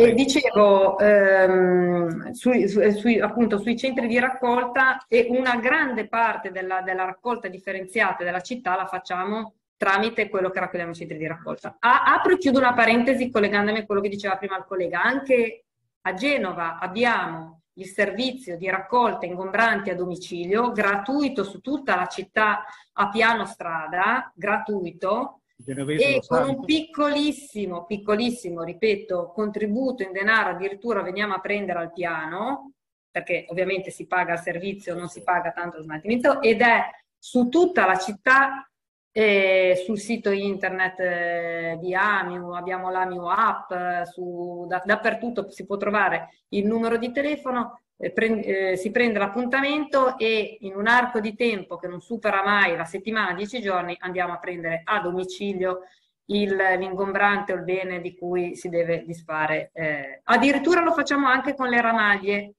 quindi con le, diciamo, gli scarti per chi ha il giardino che eh, ha necessità poi di eh, diciamo, disfarsi delle ramaglie, noi lo andiamo a prendere a domicilio. Quindi abbiamo tanti servizi e forse mm, probabilmente non siamo così bravi a comunicare e dobbiamo migliorare su questo e ce l'abbiamo. Però c'è anche, abbiamo gli ecovan, il camioncino che sta a seconda, a seconda delle, dei quartieri, eh, una volta alla settimana, addirittura sul centro storico ce l'abbiamo tutti i giorni perché in punti diversi del centro storico si trova il camioncino che staziona eh, quelle dalle 2 alle 4 ore dove i cittadini possono portare i piccoli ingombranti, piccoli RAE o altre cose. È veramente un servizio capito. Tornando però ai centri di raccolta delle isole ecologiche e anche ai centri del riuso, il lavoro che purtroppo a Genova abbiamo soltanto eh, di fatto tre isole ecologiche a servizio dei cittadini, poi ne abbiamo una più grande a servizio di chi ha volumi più grandi o di ditte, ma eh, diciamo che parliamo delle tre, una purtroppo l'abbiamo persa eh, con il crollo del ponte Morandi e, e, oltre ad una stazione di trasferenza e quindi con un enorme danno. Eh, abbiamo queste due isole ecologiche e l'obiettivo è quello di realizzarne il più possibile, ma per dare il più possibile servizi ai cittadini. Vi faccio vedere il progetto che abbiamo presentato nell'ambito dei finanziamenti PNRR, noi ci siamo aggiudicati, aspettate che lo c'era, eh, lo vedete? Inizio da Volpara e ci siamo aggiudicati vado a schermo intero. Sì, lo vediamo, lo vediamo. Due, due tra, i, tra, i, vari progetti, perché abbiamo avuto eh, diciamo il finanziamento, approvati nove progetti nell'ambito del PNRR, tra l'altro due progetti che abbiamo chiamato come Polo per l'economia circolare e quindi realizzazione di ehm, siti, di, di, di, spazi, aree dove verrà realizzato sia il centro di raccolta che il centro del riuso. L'obiettivo qual è? Dare la possibilità al cittadino in prima battuta di allungare la vita del bene, quindi di non trasformare quello di cui si vuole disfare in un rifiuto, perché ahimè tutto quello che entra in casa nostra diventa rifiuto e non può tornare indietro è più difficile. Quindi evitare addirittura di arrivare a un impianto di riciclo che è virtuoso, fa parte dell'economia circolare, ma in qualche modo è costoso anche a livello ambientale. Quindi fermarci e dare la possibilità del centro del riuso. Il centro del riuso è un luogo dove non entrano rifiuti, ma entrano beni che qualcun altro può venire a prendere e portarseli a casa. È un luogo dove idealmente noi vorremmo creare e lo stiamo già facendo anche in via Bologna, dove c'è un ex mercato che a fine settembre dove a fine settembre diciamo, verrà realizzato il centro, solo centro del riuso, anzi siete tutti invitati fin da adesso a quella che sarà poi spero fine, entro fine settembre l'inaugurazione, ma un luogo di aggregazione, un luogo con possibilità di spazi per fare educazione ambientale, dove avere sale di lettura, un repair caffè, come li chiamiamo noi, cioè aree dove qualcuno insegna magari ai ragazzi a riparare, eccetera, eccetera. Non mi vuole divagare, questo è un progetto. Abbiamo due progetti. Uno che riguarda l'area che chi è genovese conosce benissimo, della Volpara, che ahimè è un po' una, un'area che è stata, per noi è, è, un, è, il sito più grande che abbiamo, un sito eh, che, eh, dove vengono realizzate un mix di attività di AMIU, un sito che vede la trasferenza dei rifiuti, un sito, un sito dove abbiamo le officine meccaniche, è un sito dove abbiamo i magazzini, un sito dove abbiamo una palazzina uffici dove c'è eh, una serie di impiegati attività anche amministrativa, un sito dove c'è una rimessa e un sito dove c'è anche un centro di raccolta, ahimè. E quindi si mischia un po' quello che è l'attività del gestore a quello che è un servizio per i cittadini. Questo sito è eh, nel progetto PNRR oggetto di eh, trasformazione per realizzare un polo per l'economia circolare, dove in realtà è prevista la demolizione, adesso qua forse non lo vedete bene, di questo bruttissimo eh, immobile ormai decadente dove era, che era il vecchio inceneritore eh, di Genova e quindi avremo la possibilità di avere finanziamenti anche in parte che ci permetteranno di demolire questo mostro, diciamo così, e quindi ridare spazio alla città eh, per eh, un'attività centro di raccolta e centro del riuso. Adesso purtroppo in queste slide non ci sono mh, mm, le immagini di rendering, però quindi questo è uno, Volpar. L'altro, e ho visto anche che c'è una domanda da parte di una, di una persona che, che sta eh, partecipando, e, è il sito eh, Polo per l'economia circolare, altro progetto, primo progetto finanziato 2 milioni di euro, questo anche 2 milioni di euro che copre in parte il totale del finanziamento, finanziamento a fondo perduto. Questo è veramente una sfida perché si tratta di realizzare in un'area che in questo momento è di grande degrado. Eh, scusa della, della città? Come? Quali zona della città ci troviamo? Eh, via Bartolomeo Bianco, quindi Lagaccio, nella zona della Gaccio. So che sono in fermento da quelle zone. È una zona, è un'area dove in questo momento c'è una, una grande area anche, si sta sviluppando sportiva, molto bella, c'è un campo da calcio, c'è un campo da hockey su prato, tra l'altro uno dei più grandi del nord Italia, insomma si stanno facendo tante cose. E c'è quest'area che, diciamo così, eh, in questo momento è molto degradata, c'era un, un ex anche centro sociale, è, abbandonata per certi versi. Noi abbiamo realizzato questo progetto che tra l'altro tra i progetti eh, presentati a PNRR in graduatoria è il quarto del nord Italia, quindi è piaciuto molto anche perché quando abbiamo fatto la progettazione abbiamo previsto l'utilizzo anche di una serie di accorgimenti di sostenibilità e che rendessero quanto più il sito che prevede appunto un centro di raccolta e il centro del riuso eh, il più, mh, mm, eh, come si dice, integrato possibile a quello che è lo spazio circostante, tant'è che noi stiamo anche lavorando con eh, i soggetti che hanno in gestione la parte sportiva proprio per far capire che c'è un modello di sostenibilità e di circolarità che include il benessere delle persone, eh, il benessere ambientale e che non, non, non si deve avere paura di un qualcosa che è finalizzato al recupero dei materiali e quindi alla sostenibilità. Per cui qui eh, su via Bartolomeo Bianco, in questa zona, è previsto ed è stato finanziato, quindi noi avevamo, abbiamo già, siamo già in una fase, eh, abbiamo una, un progetto, dobbiamo entrare nella fase della progettazione definitiva e poi avviare i lavori e realizzarlo nel giro di, di pochissimo tempo, un paio d'anni al massimo. E questo è, ehm, ecco qua c'è questo rendering della, di quest'area dove si vede anche questa zona verde di parco che rimarrà davanti alla palazzina che verrà realizzata per il centro del riuso, dove tra l'altro è previsto di installare anche un, un parco giochi ehm, inclusivo per il quale ha chiesto finanziamento il comune, quindi veramente l'obiettivo è quello di, in, di dare spazio ai cittadini e fare in modo che non si abbia paura di un qualcosa, ripeto, lo ripeterò alla nausea, che è un servizio, non è una servitù, soprattutto nella parte di centro del riuso, perché assolutamente è una no waste area, cioè un'area dove non ci sono i rifiuti. Quando è riuso non si parla di rifiuti, i rifiuti saranno nel centro di raccolta. Centro di raccolta che ovviamente avrà delle caratteristiche e dove non girano i mezzi di AMI, cioè non vanno i camioncini dell'AMI a scaricare i rifiuti che raccolgono per strada. Eh. Questo spero che sia chiaro a tutti, l'abbiamo già detto veramente fino alla nausea, ma andrà al cittadino a portare, a portare i, suoi, i, suoi, rifiuti.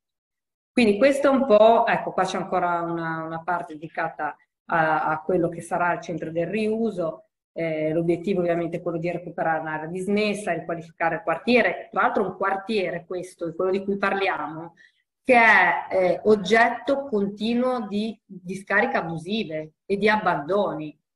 Cioè, la discarica abusiva, l'abbandono di chi probabilmente non sa, non vuole andare al centro di raccolta, non vuole conferire certi tipi di rifiuti correttamente o che è soggetto, è, una, è un costo per la collettività, perché comunque noi poi ad un certo punto dobbiamo andare a recuperare questi materiali, crea degrado, crea sporcizia e crea comunque difficoltà a tutto il contesto locale in cui eh, ci si trova a stare. Quindi un centro di raccolta è sicuramente eh, un qualcosa di virtuoso. Poi io non so se a Milano, nella zona loro, que- eh, il rapporto che c'è con il centro di raccolta... Magari passiamo a Milano, se eh, siete d'accordo. Esatto. Perché, eh, vabbè, avere un'informazione su quella, sulla situazione dei poli dell'economia circolare milanesi, però volevo avere anche da Vismara un'informazione su un'iniziativa, l'ho accennato appunto quando l'ho presentato, di questo recupero dei, dei, degli scarti elettronici, i cosiddetti RAE,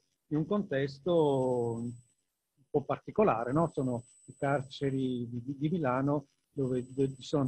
de, delle persone che sono addette a questo scopo. Mi pareva un'esperienza interessante su cui volevo eventualmente avere una, una, una qualche elemento in più anche perché poi anche Genova su queste cose, anche su questo settore c'è anche una cosa particolare di Genova.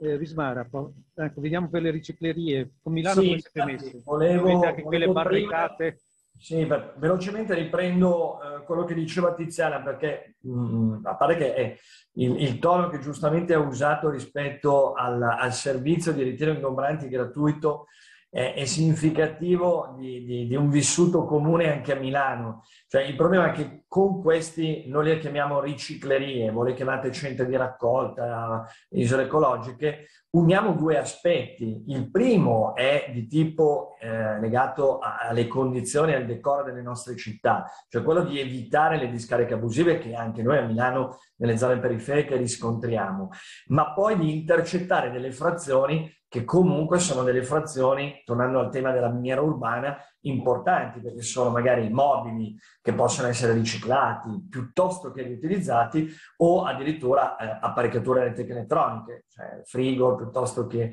elettrodomestici. Ecco, l'idea di Milano è quella che vedete, noi abbiamo cinque riciclerie, noi le abbiamo chiamate storicamente così, che sono delle aree attrezzate proprio per quelle frazioni, normalmente eh, rifiuti di grosse dimensioni o rifiuti che non vengono raccolti col sistema porta a porta che vi ho descritto. Eh, cinque che però sono poche, rispetto a una città con un milione e, e più di 300 mila residenti. Infatti il Comune di Milano, perché in questo caso l'aspetto strutturale è in capo al, al Comune, non ad ANSA, che invece poi le gestisce, ne ha previste altre tre. Eh, altre tre che però sono eh, progettate, e qui non mi dilungo, molto similarmente a quello che diceva la collega di Amio Genova, cioè è stato pensato come un luogo in cui magari vengo con un oggetto per destinarlo a un'attività di smaltimento rifiuti o comunque eh, di gestione rifiuti, ma in realtà eh, a, a, invece di andare a destra alla ricicleria, al centro di raccolta, vado a sinistra dove trovo un luogo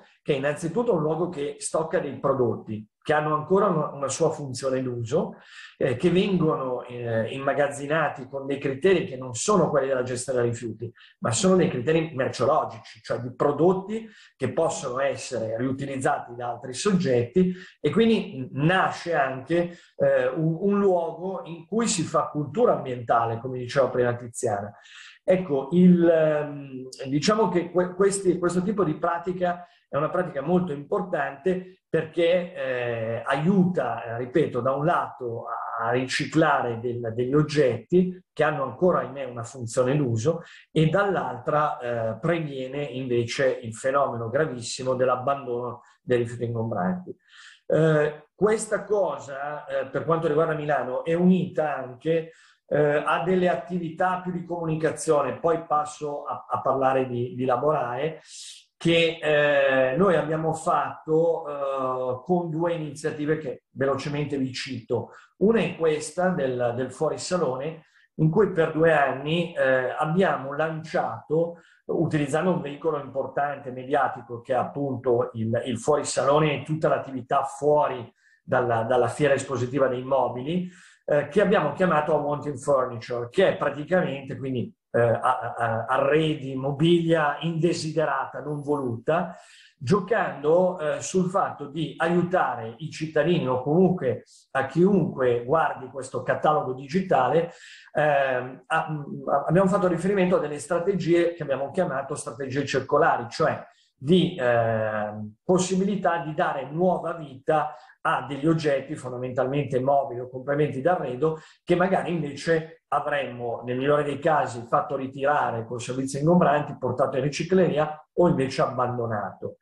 L'altra iniziativa, sempre per prevenire in questo caso la produzione di rifiuti, è stata un'idea che ci è nata con i colleghi di comunicazione del trasloco sostenibile. L'abbiamo chiamato così che è un catalogo che abbiamo pubblicizzato eh, soprattutto nel momento in cui si venivano ad insediare dei nuovi quartieri.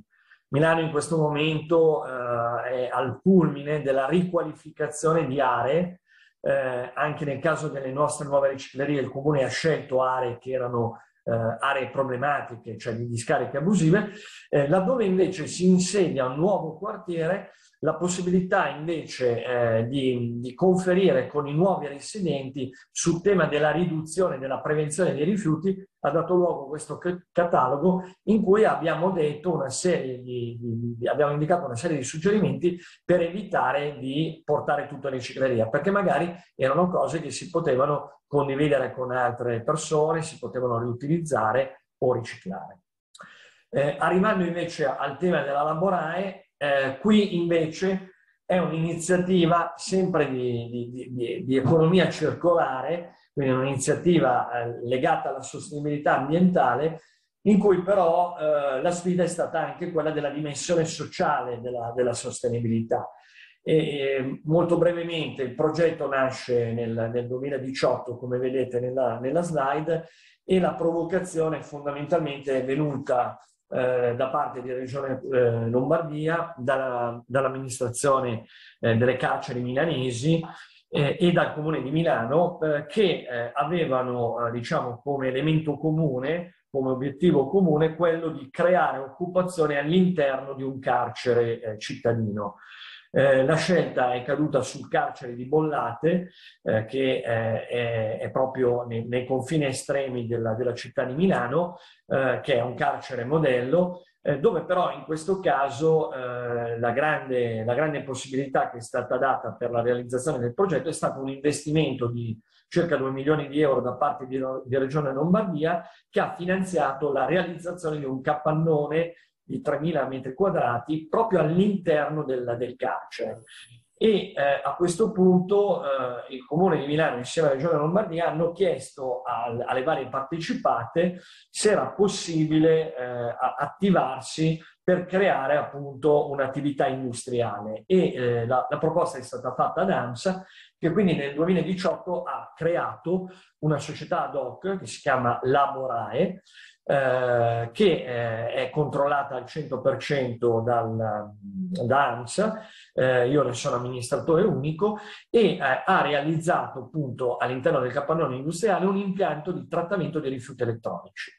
Eh, l'attuale autorizzazione è di circa 3.000 tonnellate all'anno, eh, l'impianto eh, è appunto all'interno di questo, di questo sito eh, che ha un impianto fotovoltaico, quindi è completamente autonomo anche dalla produzione dell'energia. La tipologia dei rifiuti che trattiamo eh, sono indicate da queste tre categorie R2, R3, R4 che intendono l'R2 di fatto i frigo e frigocongelatori, gli R3 stiamo parlando di lavatrici, scusate, ho, ho, ho, fatto confusione, R2 è soltanto la categoria degli elettrodomestici, quindi non i frigoriferi, ma eh, eh, lavatrici, lavastoviglie e forni di incasso, gli R3 indicano invece la possibilità di trattare monitor e schermi e gli R4 sono tutta l'altra eh, gamma di, eh, la restante gamma di rifiuti elettronici eh, che, che, vuol dire fondamentalmente eh, prodotti da ufficio, quindi PC,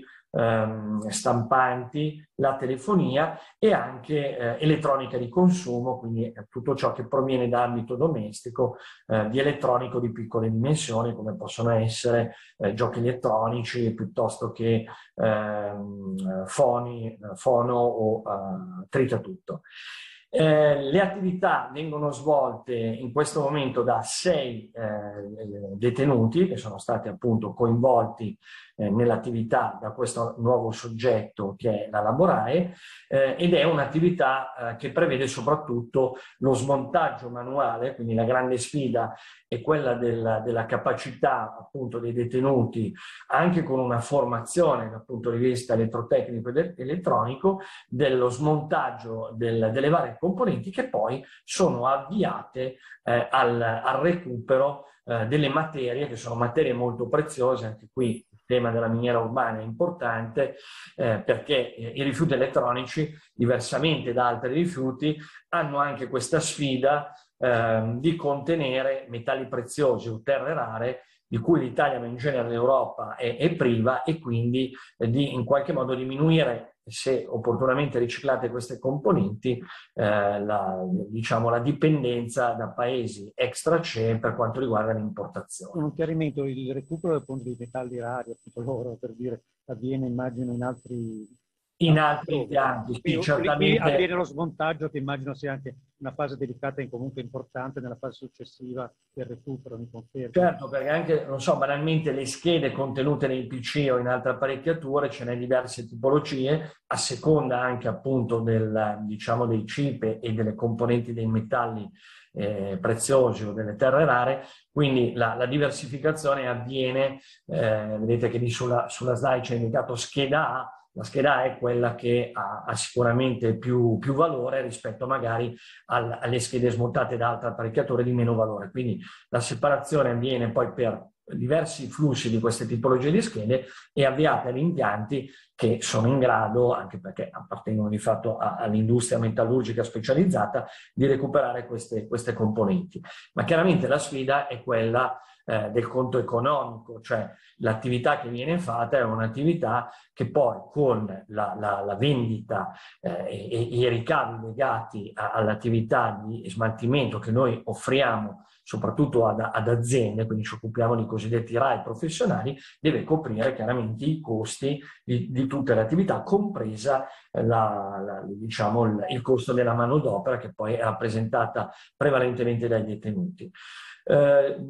velocemente poi due progetti, uno già avviato, l'altro speriamo di prossima realizzazione, è la, la collaborazione con, una, con, un altro soggetto che si chiama Astelav, che opera nel torinese, che è una società che storicamente si è sempre occupata di vendita eh, al dettaglio all'ingrosso di componenti, quindi di pezzi di ricambio per elettrodomestici, che all'interno del proprio magazzino di vendita ha realizzato eh, un, un, un, altro laboratorio eh, dove vengono occupate persone con, eh, con diverse eh, difficoltà, con diversi svantaggi, eh, anche ex detenuti, eh, e lì l'idea è quella di dare nuova vita ad elettrodomestici che magari vengono di fatto o resi ai punti di vendita o anche magari ai centri, ai centri di riuso e che quindi con il loro know-how eh, vengono riparati e rimessi sul, sul, mercato, quindi venduti di fatto eh, come, come, prodotti rigenerati.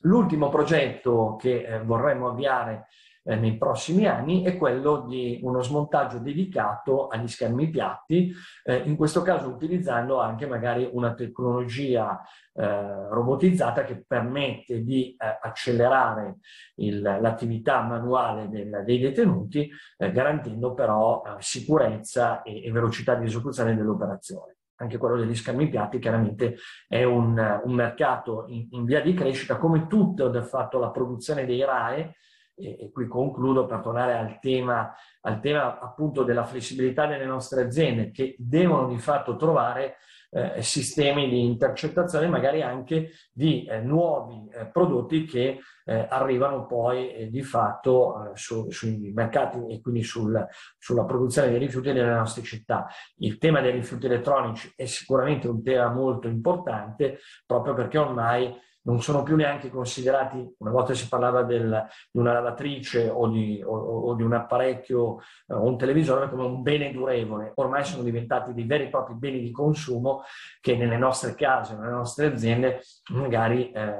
acquistiamo e rinnoviamo con un ritmo che non era quello eh, di soltanto 5-10 anni fa. E quindi sta aumentando eh, drasticamente la produzione di, di questi rifiuti che anche in questo caso non devono essere abbandonati collocati sul territorio delle nostre città, ma devono essere convogliati poi con tutti i sistemi possibili per essere poi avviati in impianti di riciclo come in piccolo anche quello di... Volevo sapere, scusami, i detenuti che eh. fanno questo lavoro hanno uno stipendio? Per, per, per sì, assolutamente. Quindi anche, sì, sì. oltre a imparano anche un mestiere potenzialmente, no? Immagino esatto. Diciamo che poi è, è anche una possibilità, eh, quando noi in gergo si dice il giorno dopo, cioè a fine pena, avere comunque anche la possibilità di un curriculum in cui aver detto di aver lavorato comunque in un'azienda all'interno delle carceri. Tenete conto che Bollate ha poi questa esperienza sia formativa che lavorativa, nel senso che la maggior parte dei detenuti di quel carcere o studia anche a livello universitario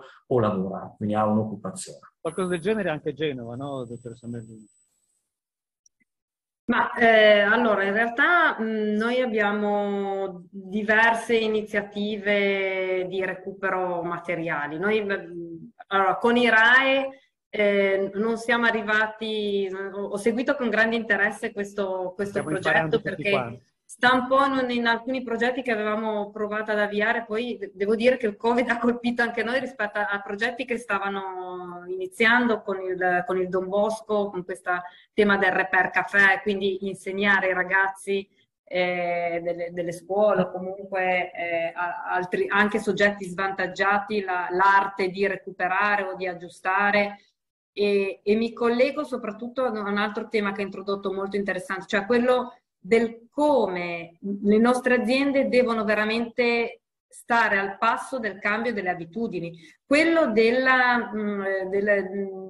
del, dei modelli di consumo e penso ai mobili che una volta si comprava la cucina e si teneva 20 anni, adesso magari la compra l'IKEA la cambia ogni 5 anni, piuttosto che eh, l'abbigliamento, quindi il rifiuto tessile, eh, la, la, velocità di, di, cambio d'uso perché costa poco e quindi ne, ne utilizzo molto di più. Quindi de,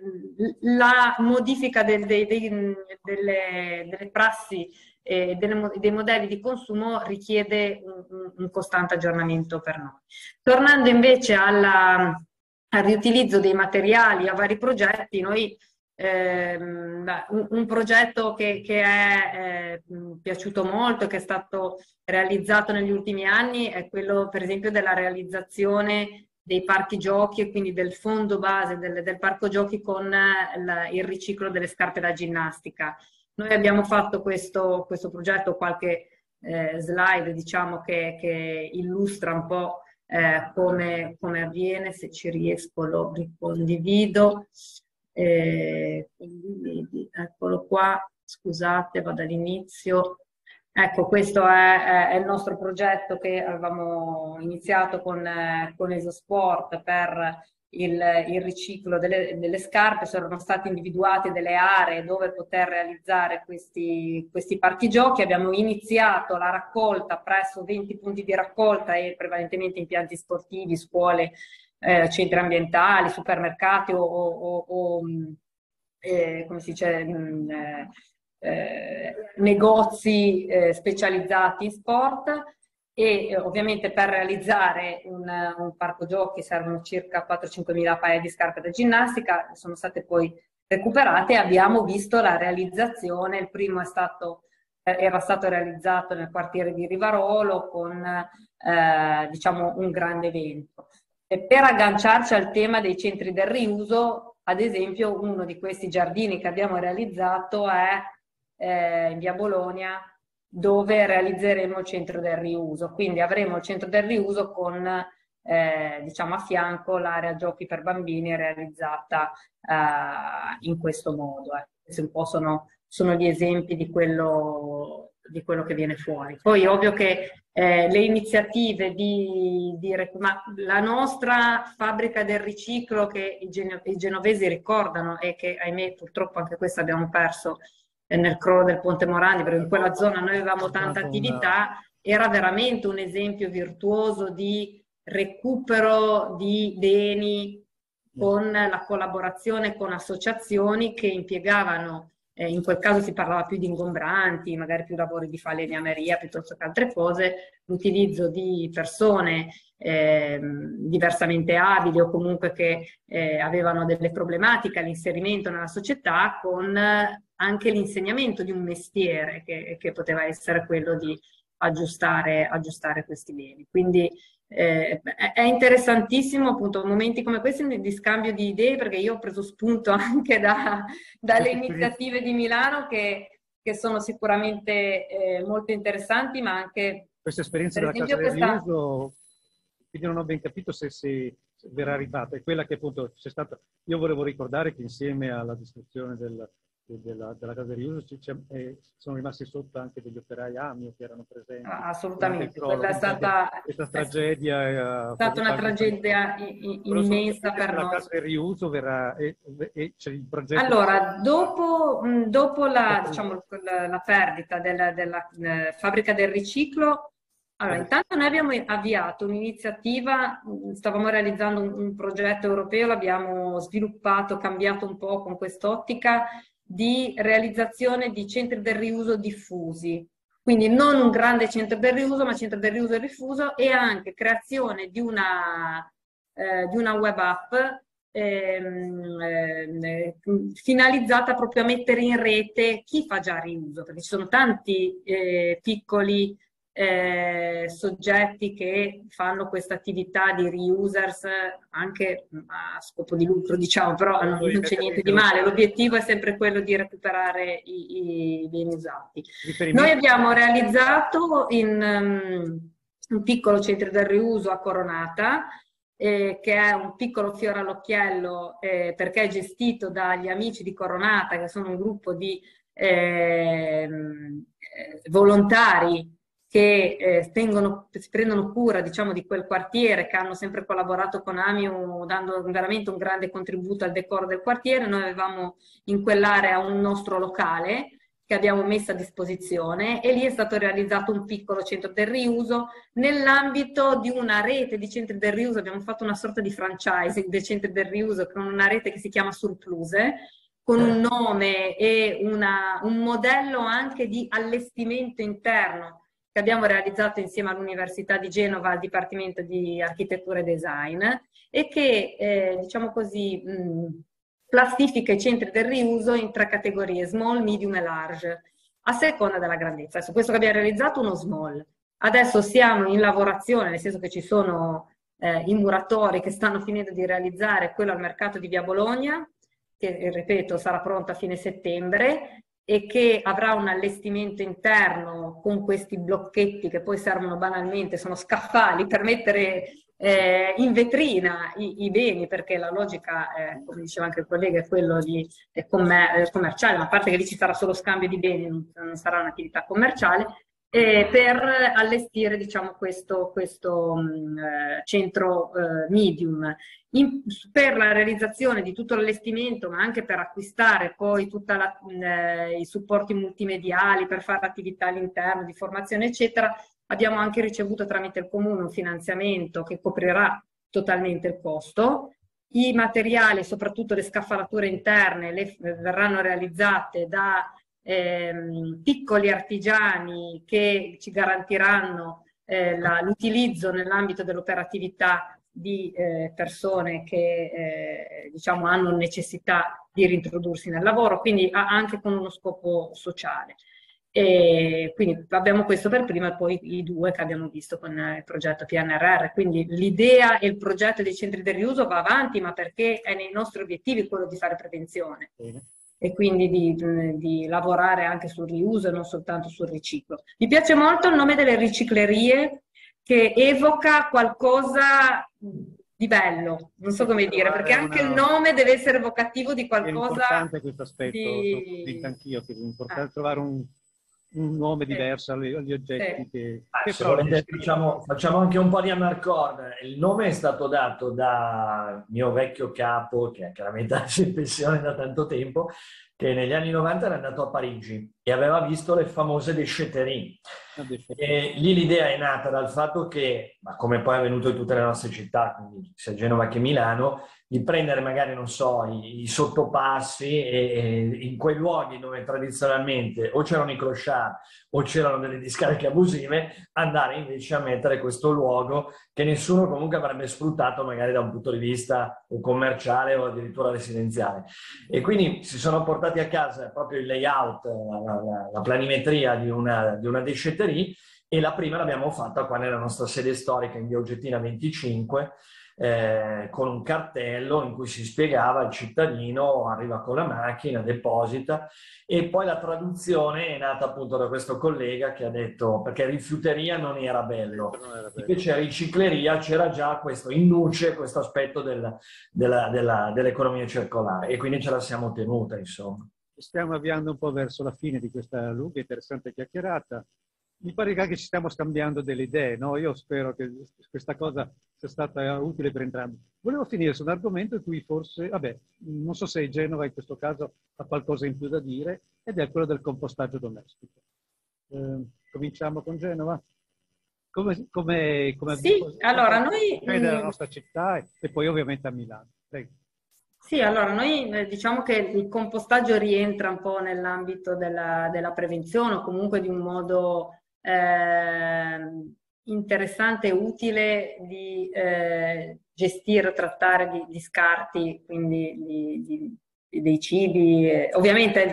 è più dedicato a chi ha, poi qualcuno lo fa anche senza il giardino, però si presta molto a chi ha la, la possibilità di avere uno spazio, uno spazio verde. Fiorito, non un balcone fiorito, come posso dimostrare io se volete. E noi abbiamo, abbiamo fatto diverse iniziative e quest'anno abbiamo iniziato con i corsi di compostaggio perché il modello è eh, il si partecipa al corso di compostaggio perché eh, comunque diventare compostatore non è una cosa così banale. Eh, diamo in dotazione la compostiera, quella tradizionale, e poi ovviamente il cittadino fa la sua, la sua attività. C'è un, un, un sistema di controllo che è dettato da norme appunto regionali, viene imposto sul 15% dei, dei compostatori, però l'idea è sempre più quella di arri- arrivare alla creazione di una comunità. No? Questo albo dei compostatori, che sembra quasi un po' una cosa burocratica, dovrebbe diventare poi una, una comunità e, e, diciamo che adesso non so di risparmio su questa buona presentazione, magari poi la mando, ve lo risparmio perché adesso mancano veramente solo pochi minuti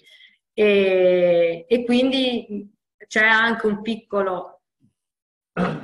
gravio, diciamo così, sulla, sulla, tassa rifiuti e questo credo che sia eh, un po' per tutte le città, su Genova è minimo 10 euro, mm, è quasi simbolico. Ci sono città dove lo sgravio è molto più, è molto più importante, addirittura una percentuale importante su tutta, fino anche al 30% sulla parte variabile della Tari, quindi è, è interessante. Ovvio ci sono anche realtà dove è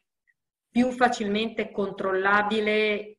il fatto che si usi il compostaggio e non si conferisca il rifiuto umido, la, la forsu al, al, servizio di conferimento, cioè non, solitamente dove c'è il porta a porta, eh, chi fa il compostaggio non ha, tra virgolette, diritto eh, nei comuni che, che, che, conosco io qua dalla Liguria, normalmente chi fa il compostaggio non ha poi la raccolta del, dell'umido perché si presuppone che lo utilizzi a compostaggio, anche se in realtà non è che va tutto utilizzabile e, e utile per il compostaggio. Determinati scarti eh, diciamo alimentari non, non, non, sono conferibili, carni, vari scarti eh, che poi possono essere anche poi problematici. Io ho, ho, ho praticato il compostaggio quando avevo il giardino e qualcosa tirato fuori mi piaceva molto, devo dire che... Vabbè, farò una, le farò un corso personale. Mi deve fare un corso, sono...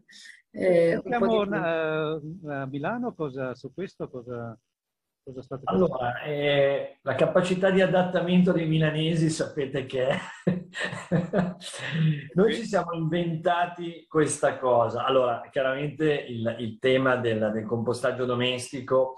è, è un tema che eh, è difficile da fare attecchire a Milano per proprio la, la, la, la, poca presenza di giardini. Sì, poi ci sono i giardini, però sono gestiti poi dal condominio, quindi il tema del compostaggio domestico sul balcone, sul terrazzo eh, è, è, molto limitato. Però in realtà abbiamo una richiesta anche per gli altri comuni che poi AMSA segue di, di, fare anche noi dei corsi e delle guide. Però una cosa che mi piace condividere con voi è questa, sempre nell'ambito della circolarità, un elemento quasi di comunicazione che abbiamo sfruttato, e lo vedete sull'immagine a destra, è stato quello di, eh, in una serie di situazioni, quindi mi riferisco a gli orti didattici, quindi quegli orti che in molte scuole milanesi adesso gli insegnanti, gli insegnanti stanno realizzando nel giardino della, della, scuola. Negli orti condivisi, che sono quell'esperienza che sta crescendo a Milano di zone, diciamo, soprattutto periferiche della città,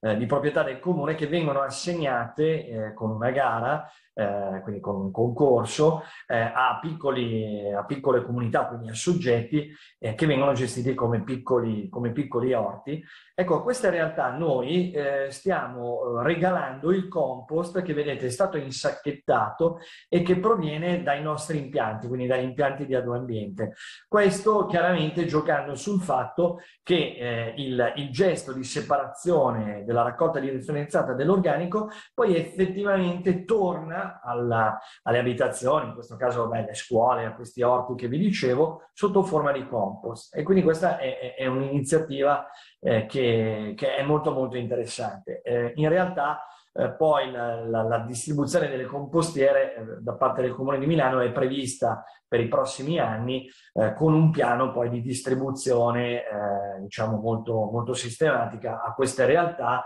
tramite appunto sempre, sempre AMSA e quindi sarà poi lo sviluppo futuro. Eh, volevo, volevo, ritornare a un argomento, perché questo del, dell'utilizzo del compost eh, e anche della riduzione della tari che accennava prima Tiziana, mm, mi, mi, mi fa tornare invece all'esperienza che noi abbiamo a Milano eh, legata alla, alla riduzione dei rifiuti che viene generata da soggetti importanti della città che sono poi coloro che realizzano il recupero delle eccedenze alimentari. Quindi mi riferisco a Banco Alimentare piuttosto che altri soggetti che soprattutto dal 2015, quando c'è stato l'Expo, che eh, a Milano era tutto incentrato sul tema dell'alimentazione, ma anche eh, del, dello spreco alimentare e della gestione del rifiuto organico, eh, ha realizzato poi eh, veramente una rete capillare eh, molto molto importante che non è fatta soltanto da grandi associazioni eh, diciamo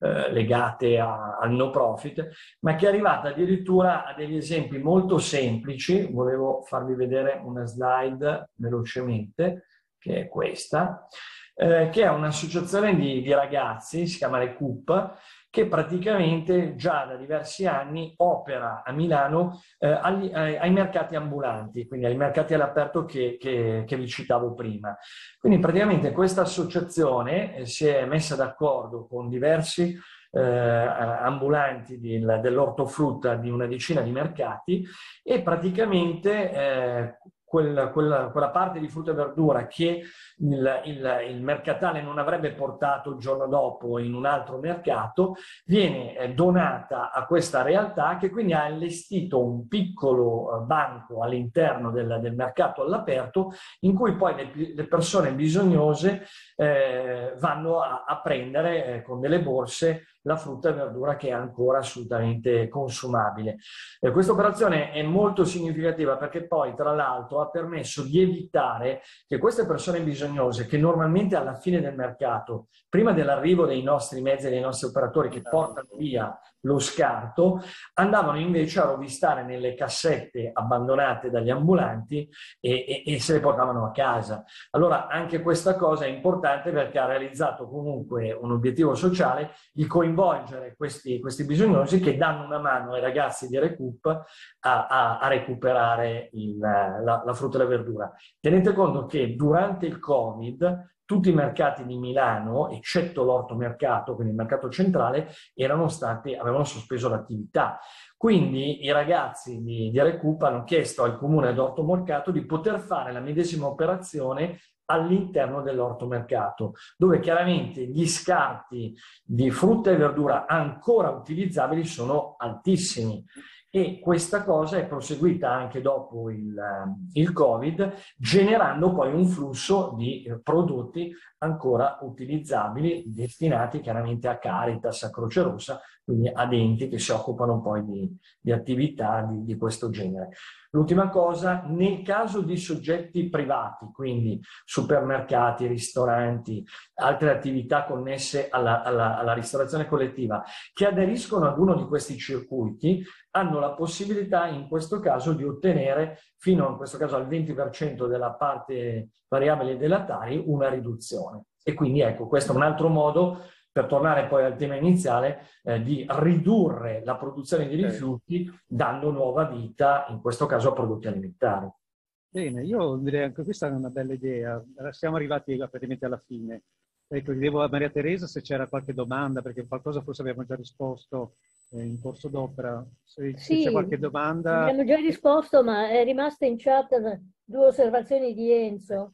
Ci fa ritornare al, all'isola ecologica del Lagaccio. E la,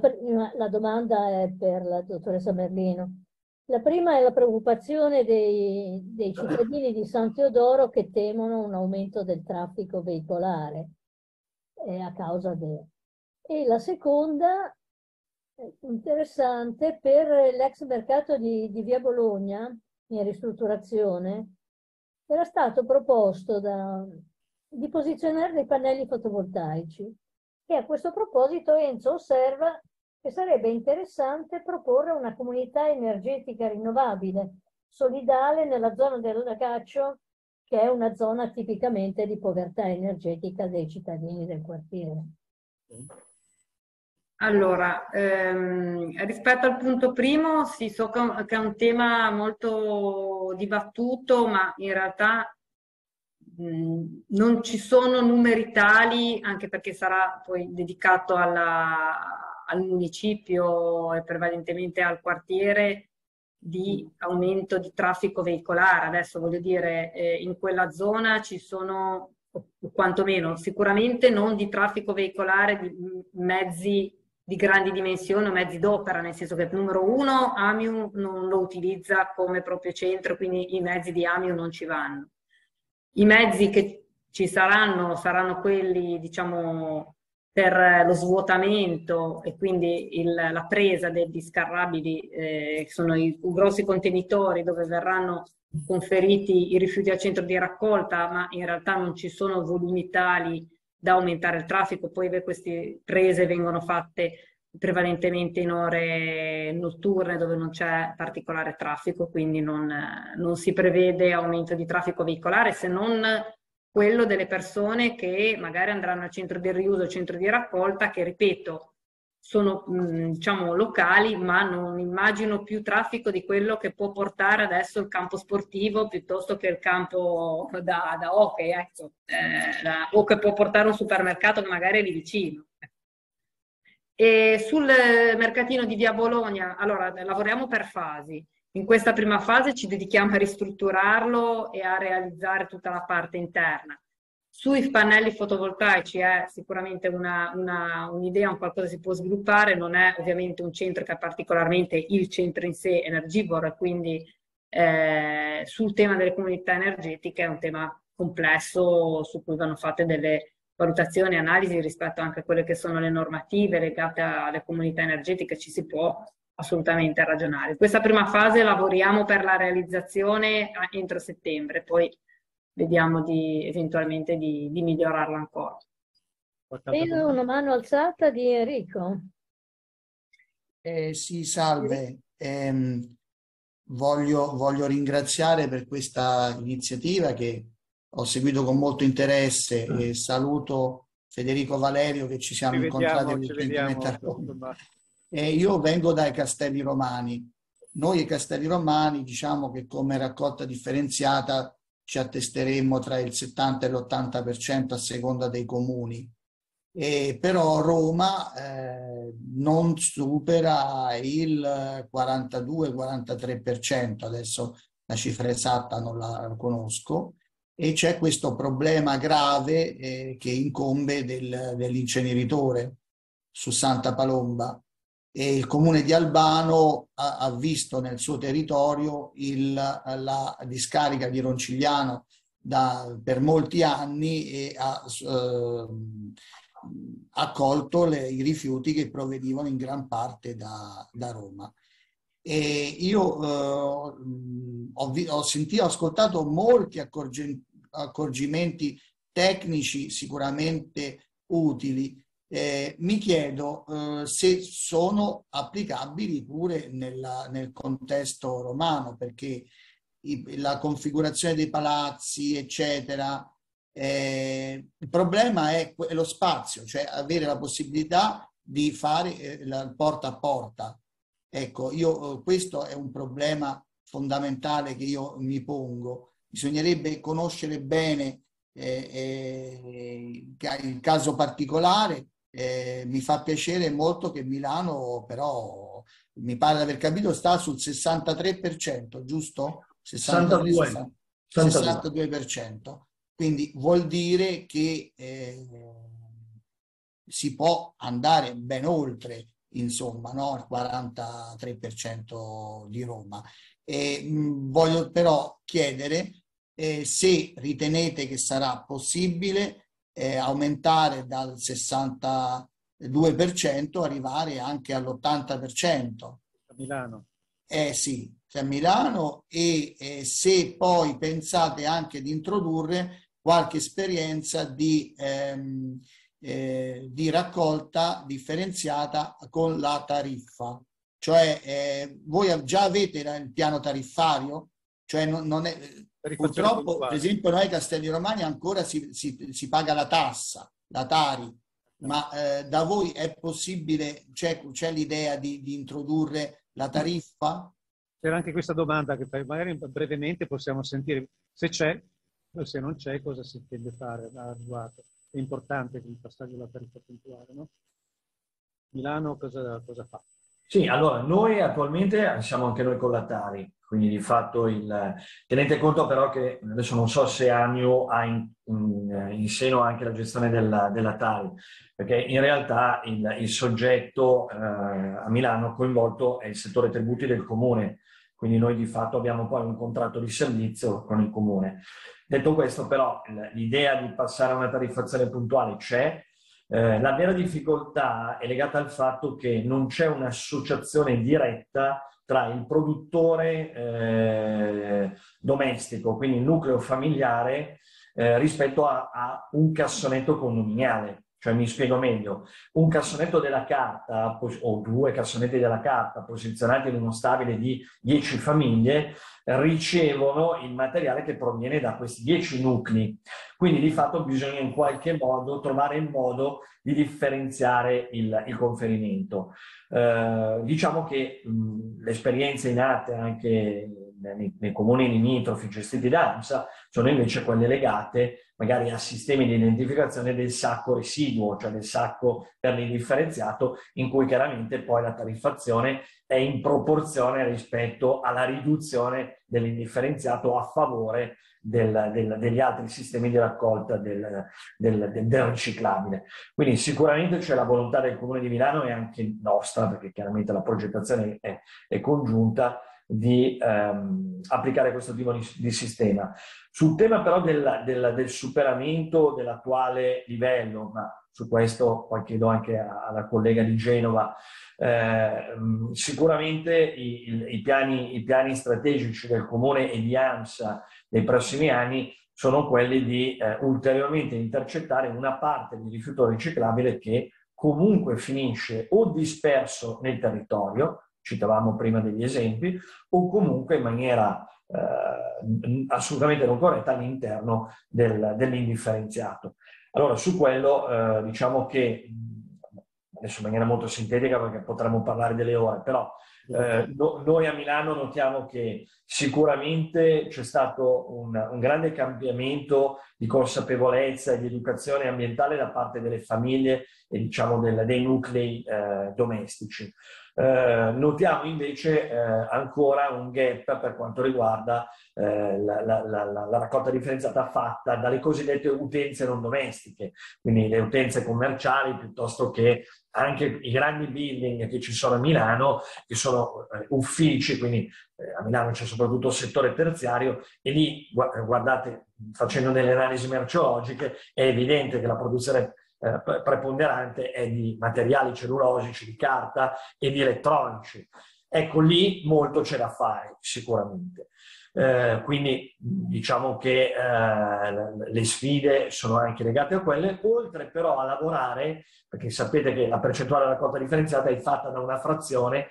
quindi oltre a lavorare sul numeratore, cioè aumentare il flusso di materiale riciclabile, si può lavorare sul denominatore, quindi su la, la, base totale dei rifiuti prodotti, che è una bella sfida perché, eh, ripeto, è anche molto legata poi al livello di eh, gestione eh, non fatta dalla, dalla, dalla, dalla, dall'azienda municipalizzata piuttosto che dal, dal gestore del, del, della raccolta rifiuti rispetto invece a gestori privati. Quindi se molte aziende si avvalgono di questo è chiaro che cambia poi il totale della produzione dei, rifiuti. Quindi questo è un altro elemento di, di differenziazione. Eh, detto questo, però, le leve sono queste. Migliorare gli attuali sistemi, eh, sempre di più personalizzarli rispetto a quello che dicevamo prima, cambiamenti di, di, di modelli di acquisto e di consumi e dall'altro maggiore consapevolezza soprattutto dai grandi produttori.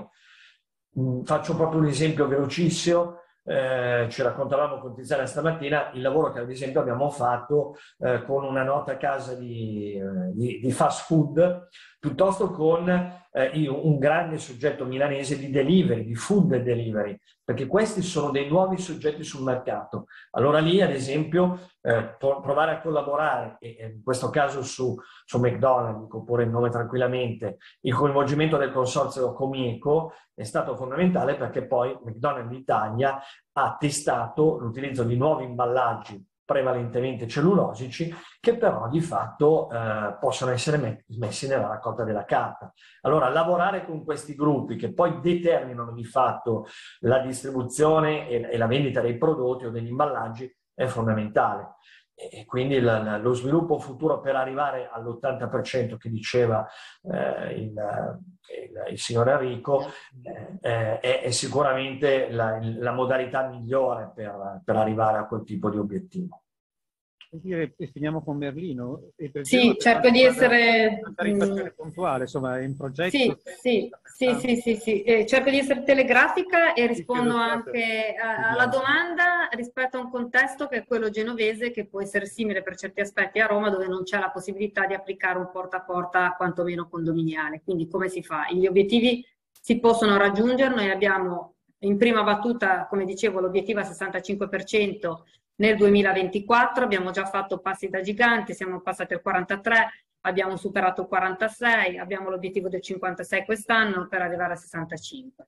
Con l'installazione delle ecoisole, tutte le ecoisole che stiamo installando hanno la predisposizione per l'accesso controllato. Quello è il sistema per il controllo dei conferimenti che è funzionale all'applicazione della tariffazione puntuale. Aggiungo, il cassonetto dell'indifferenziato, se vedete, secco residuo, ha uno sportello che si apre con un cassetto che è di un volume di fatto contingentato, sono circa 40 litri, è l'equivalente del mastello. Allora, nella logica della tariffazione puntuale c'è una tariffa di base che viene pagata da tutti eh, eh, che copre il costo diciamo, del conferimento del rifiuto indifferenziato che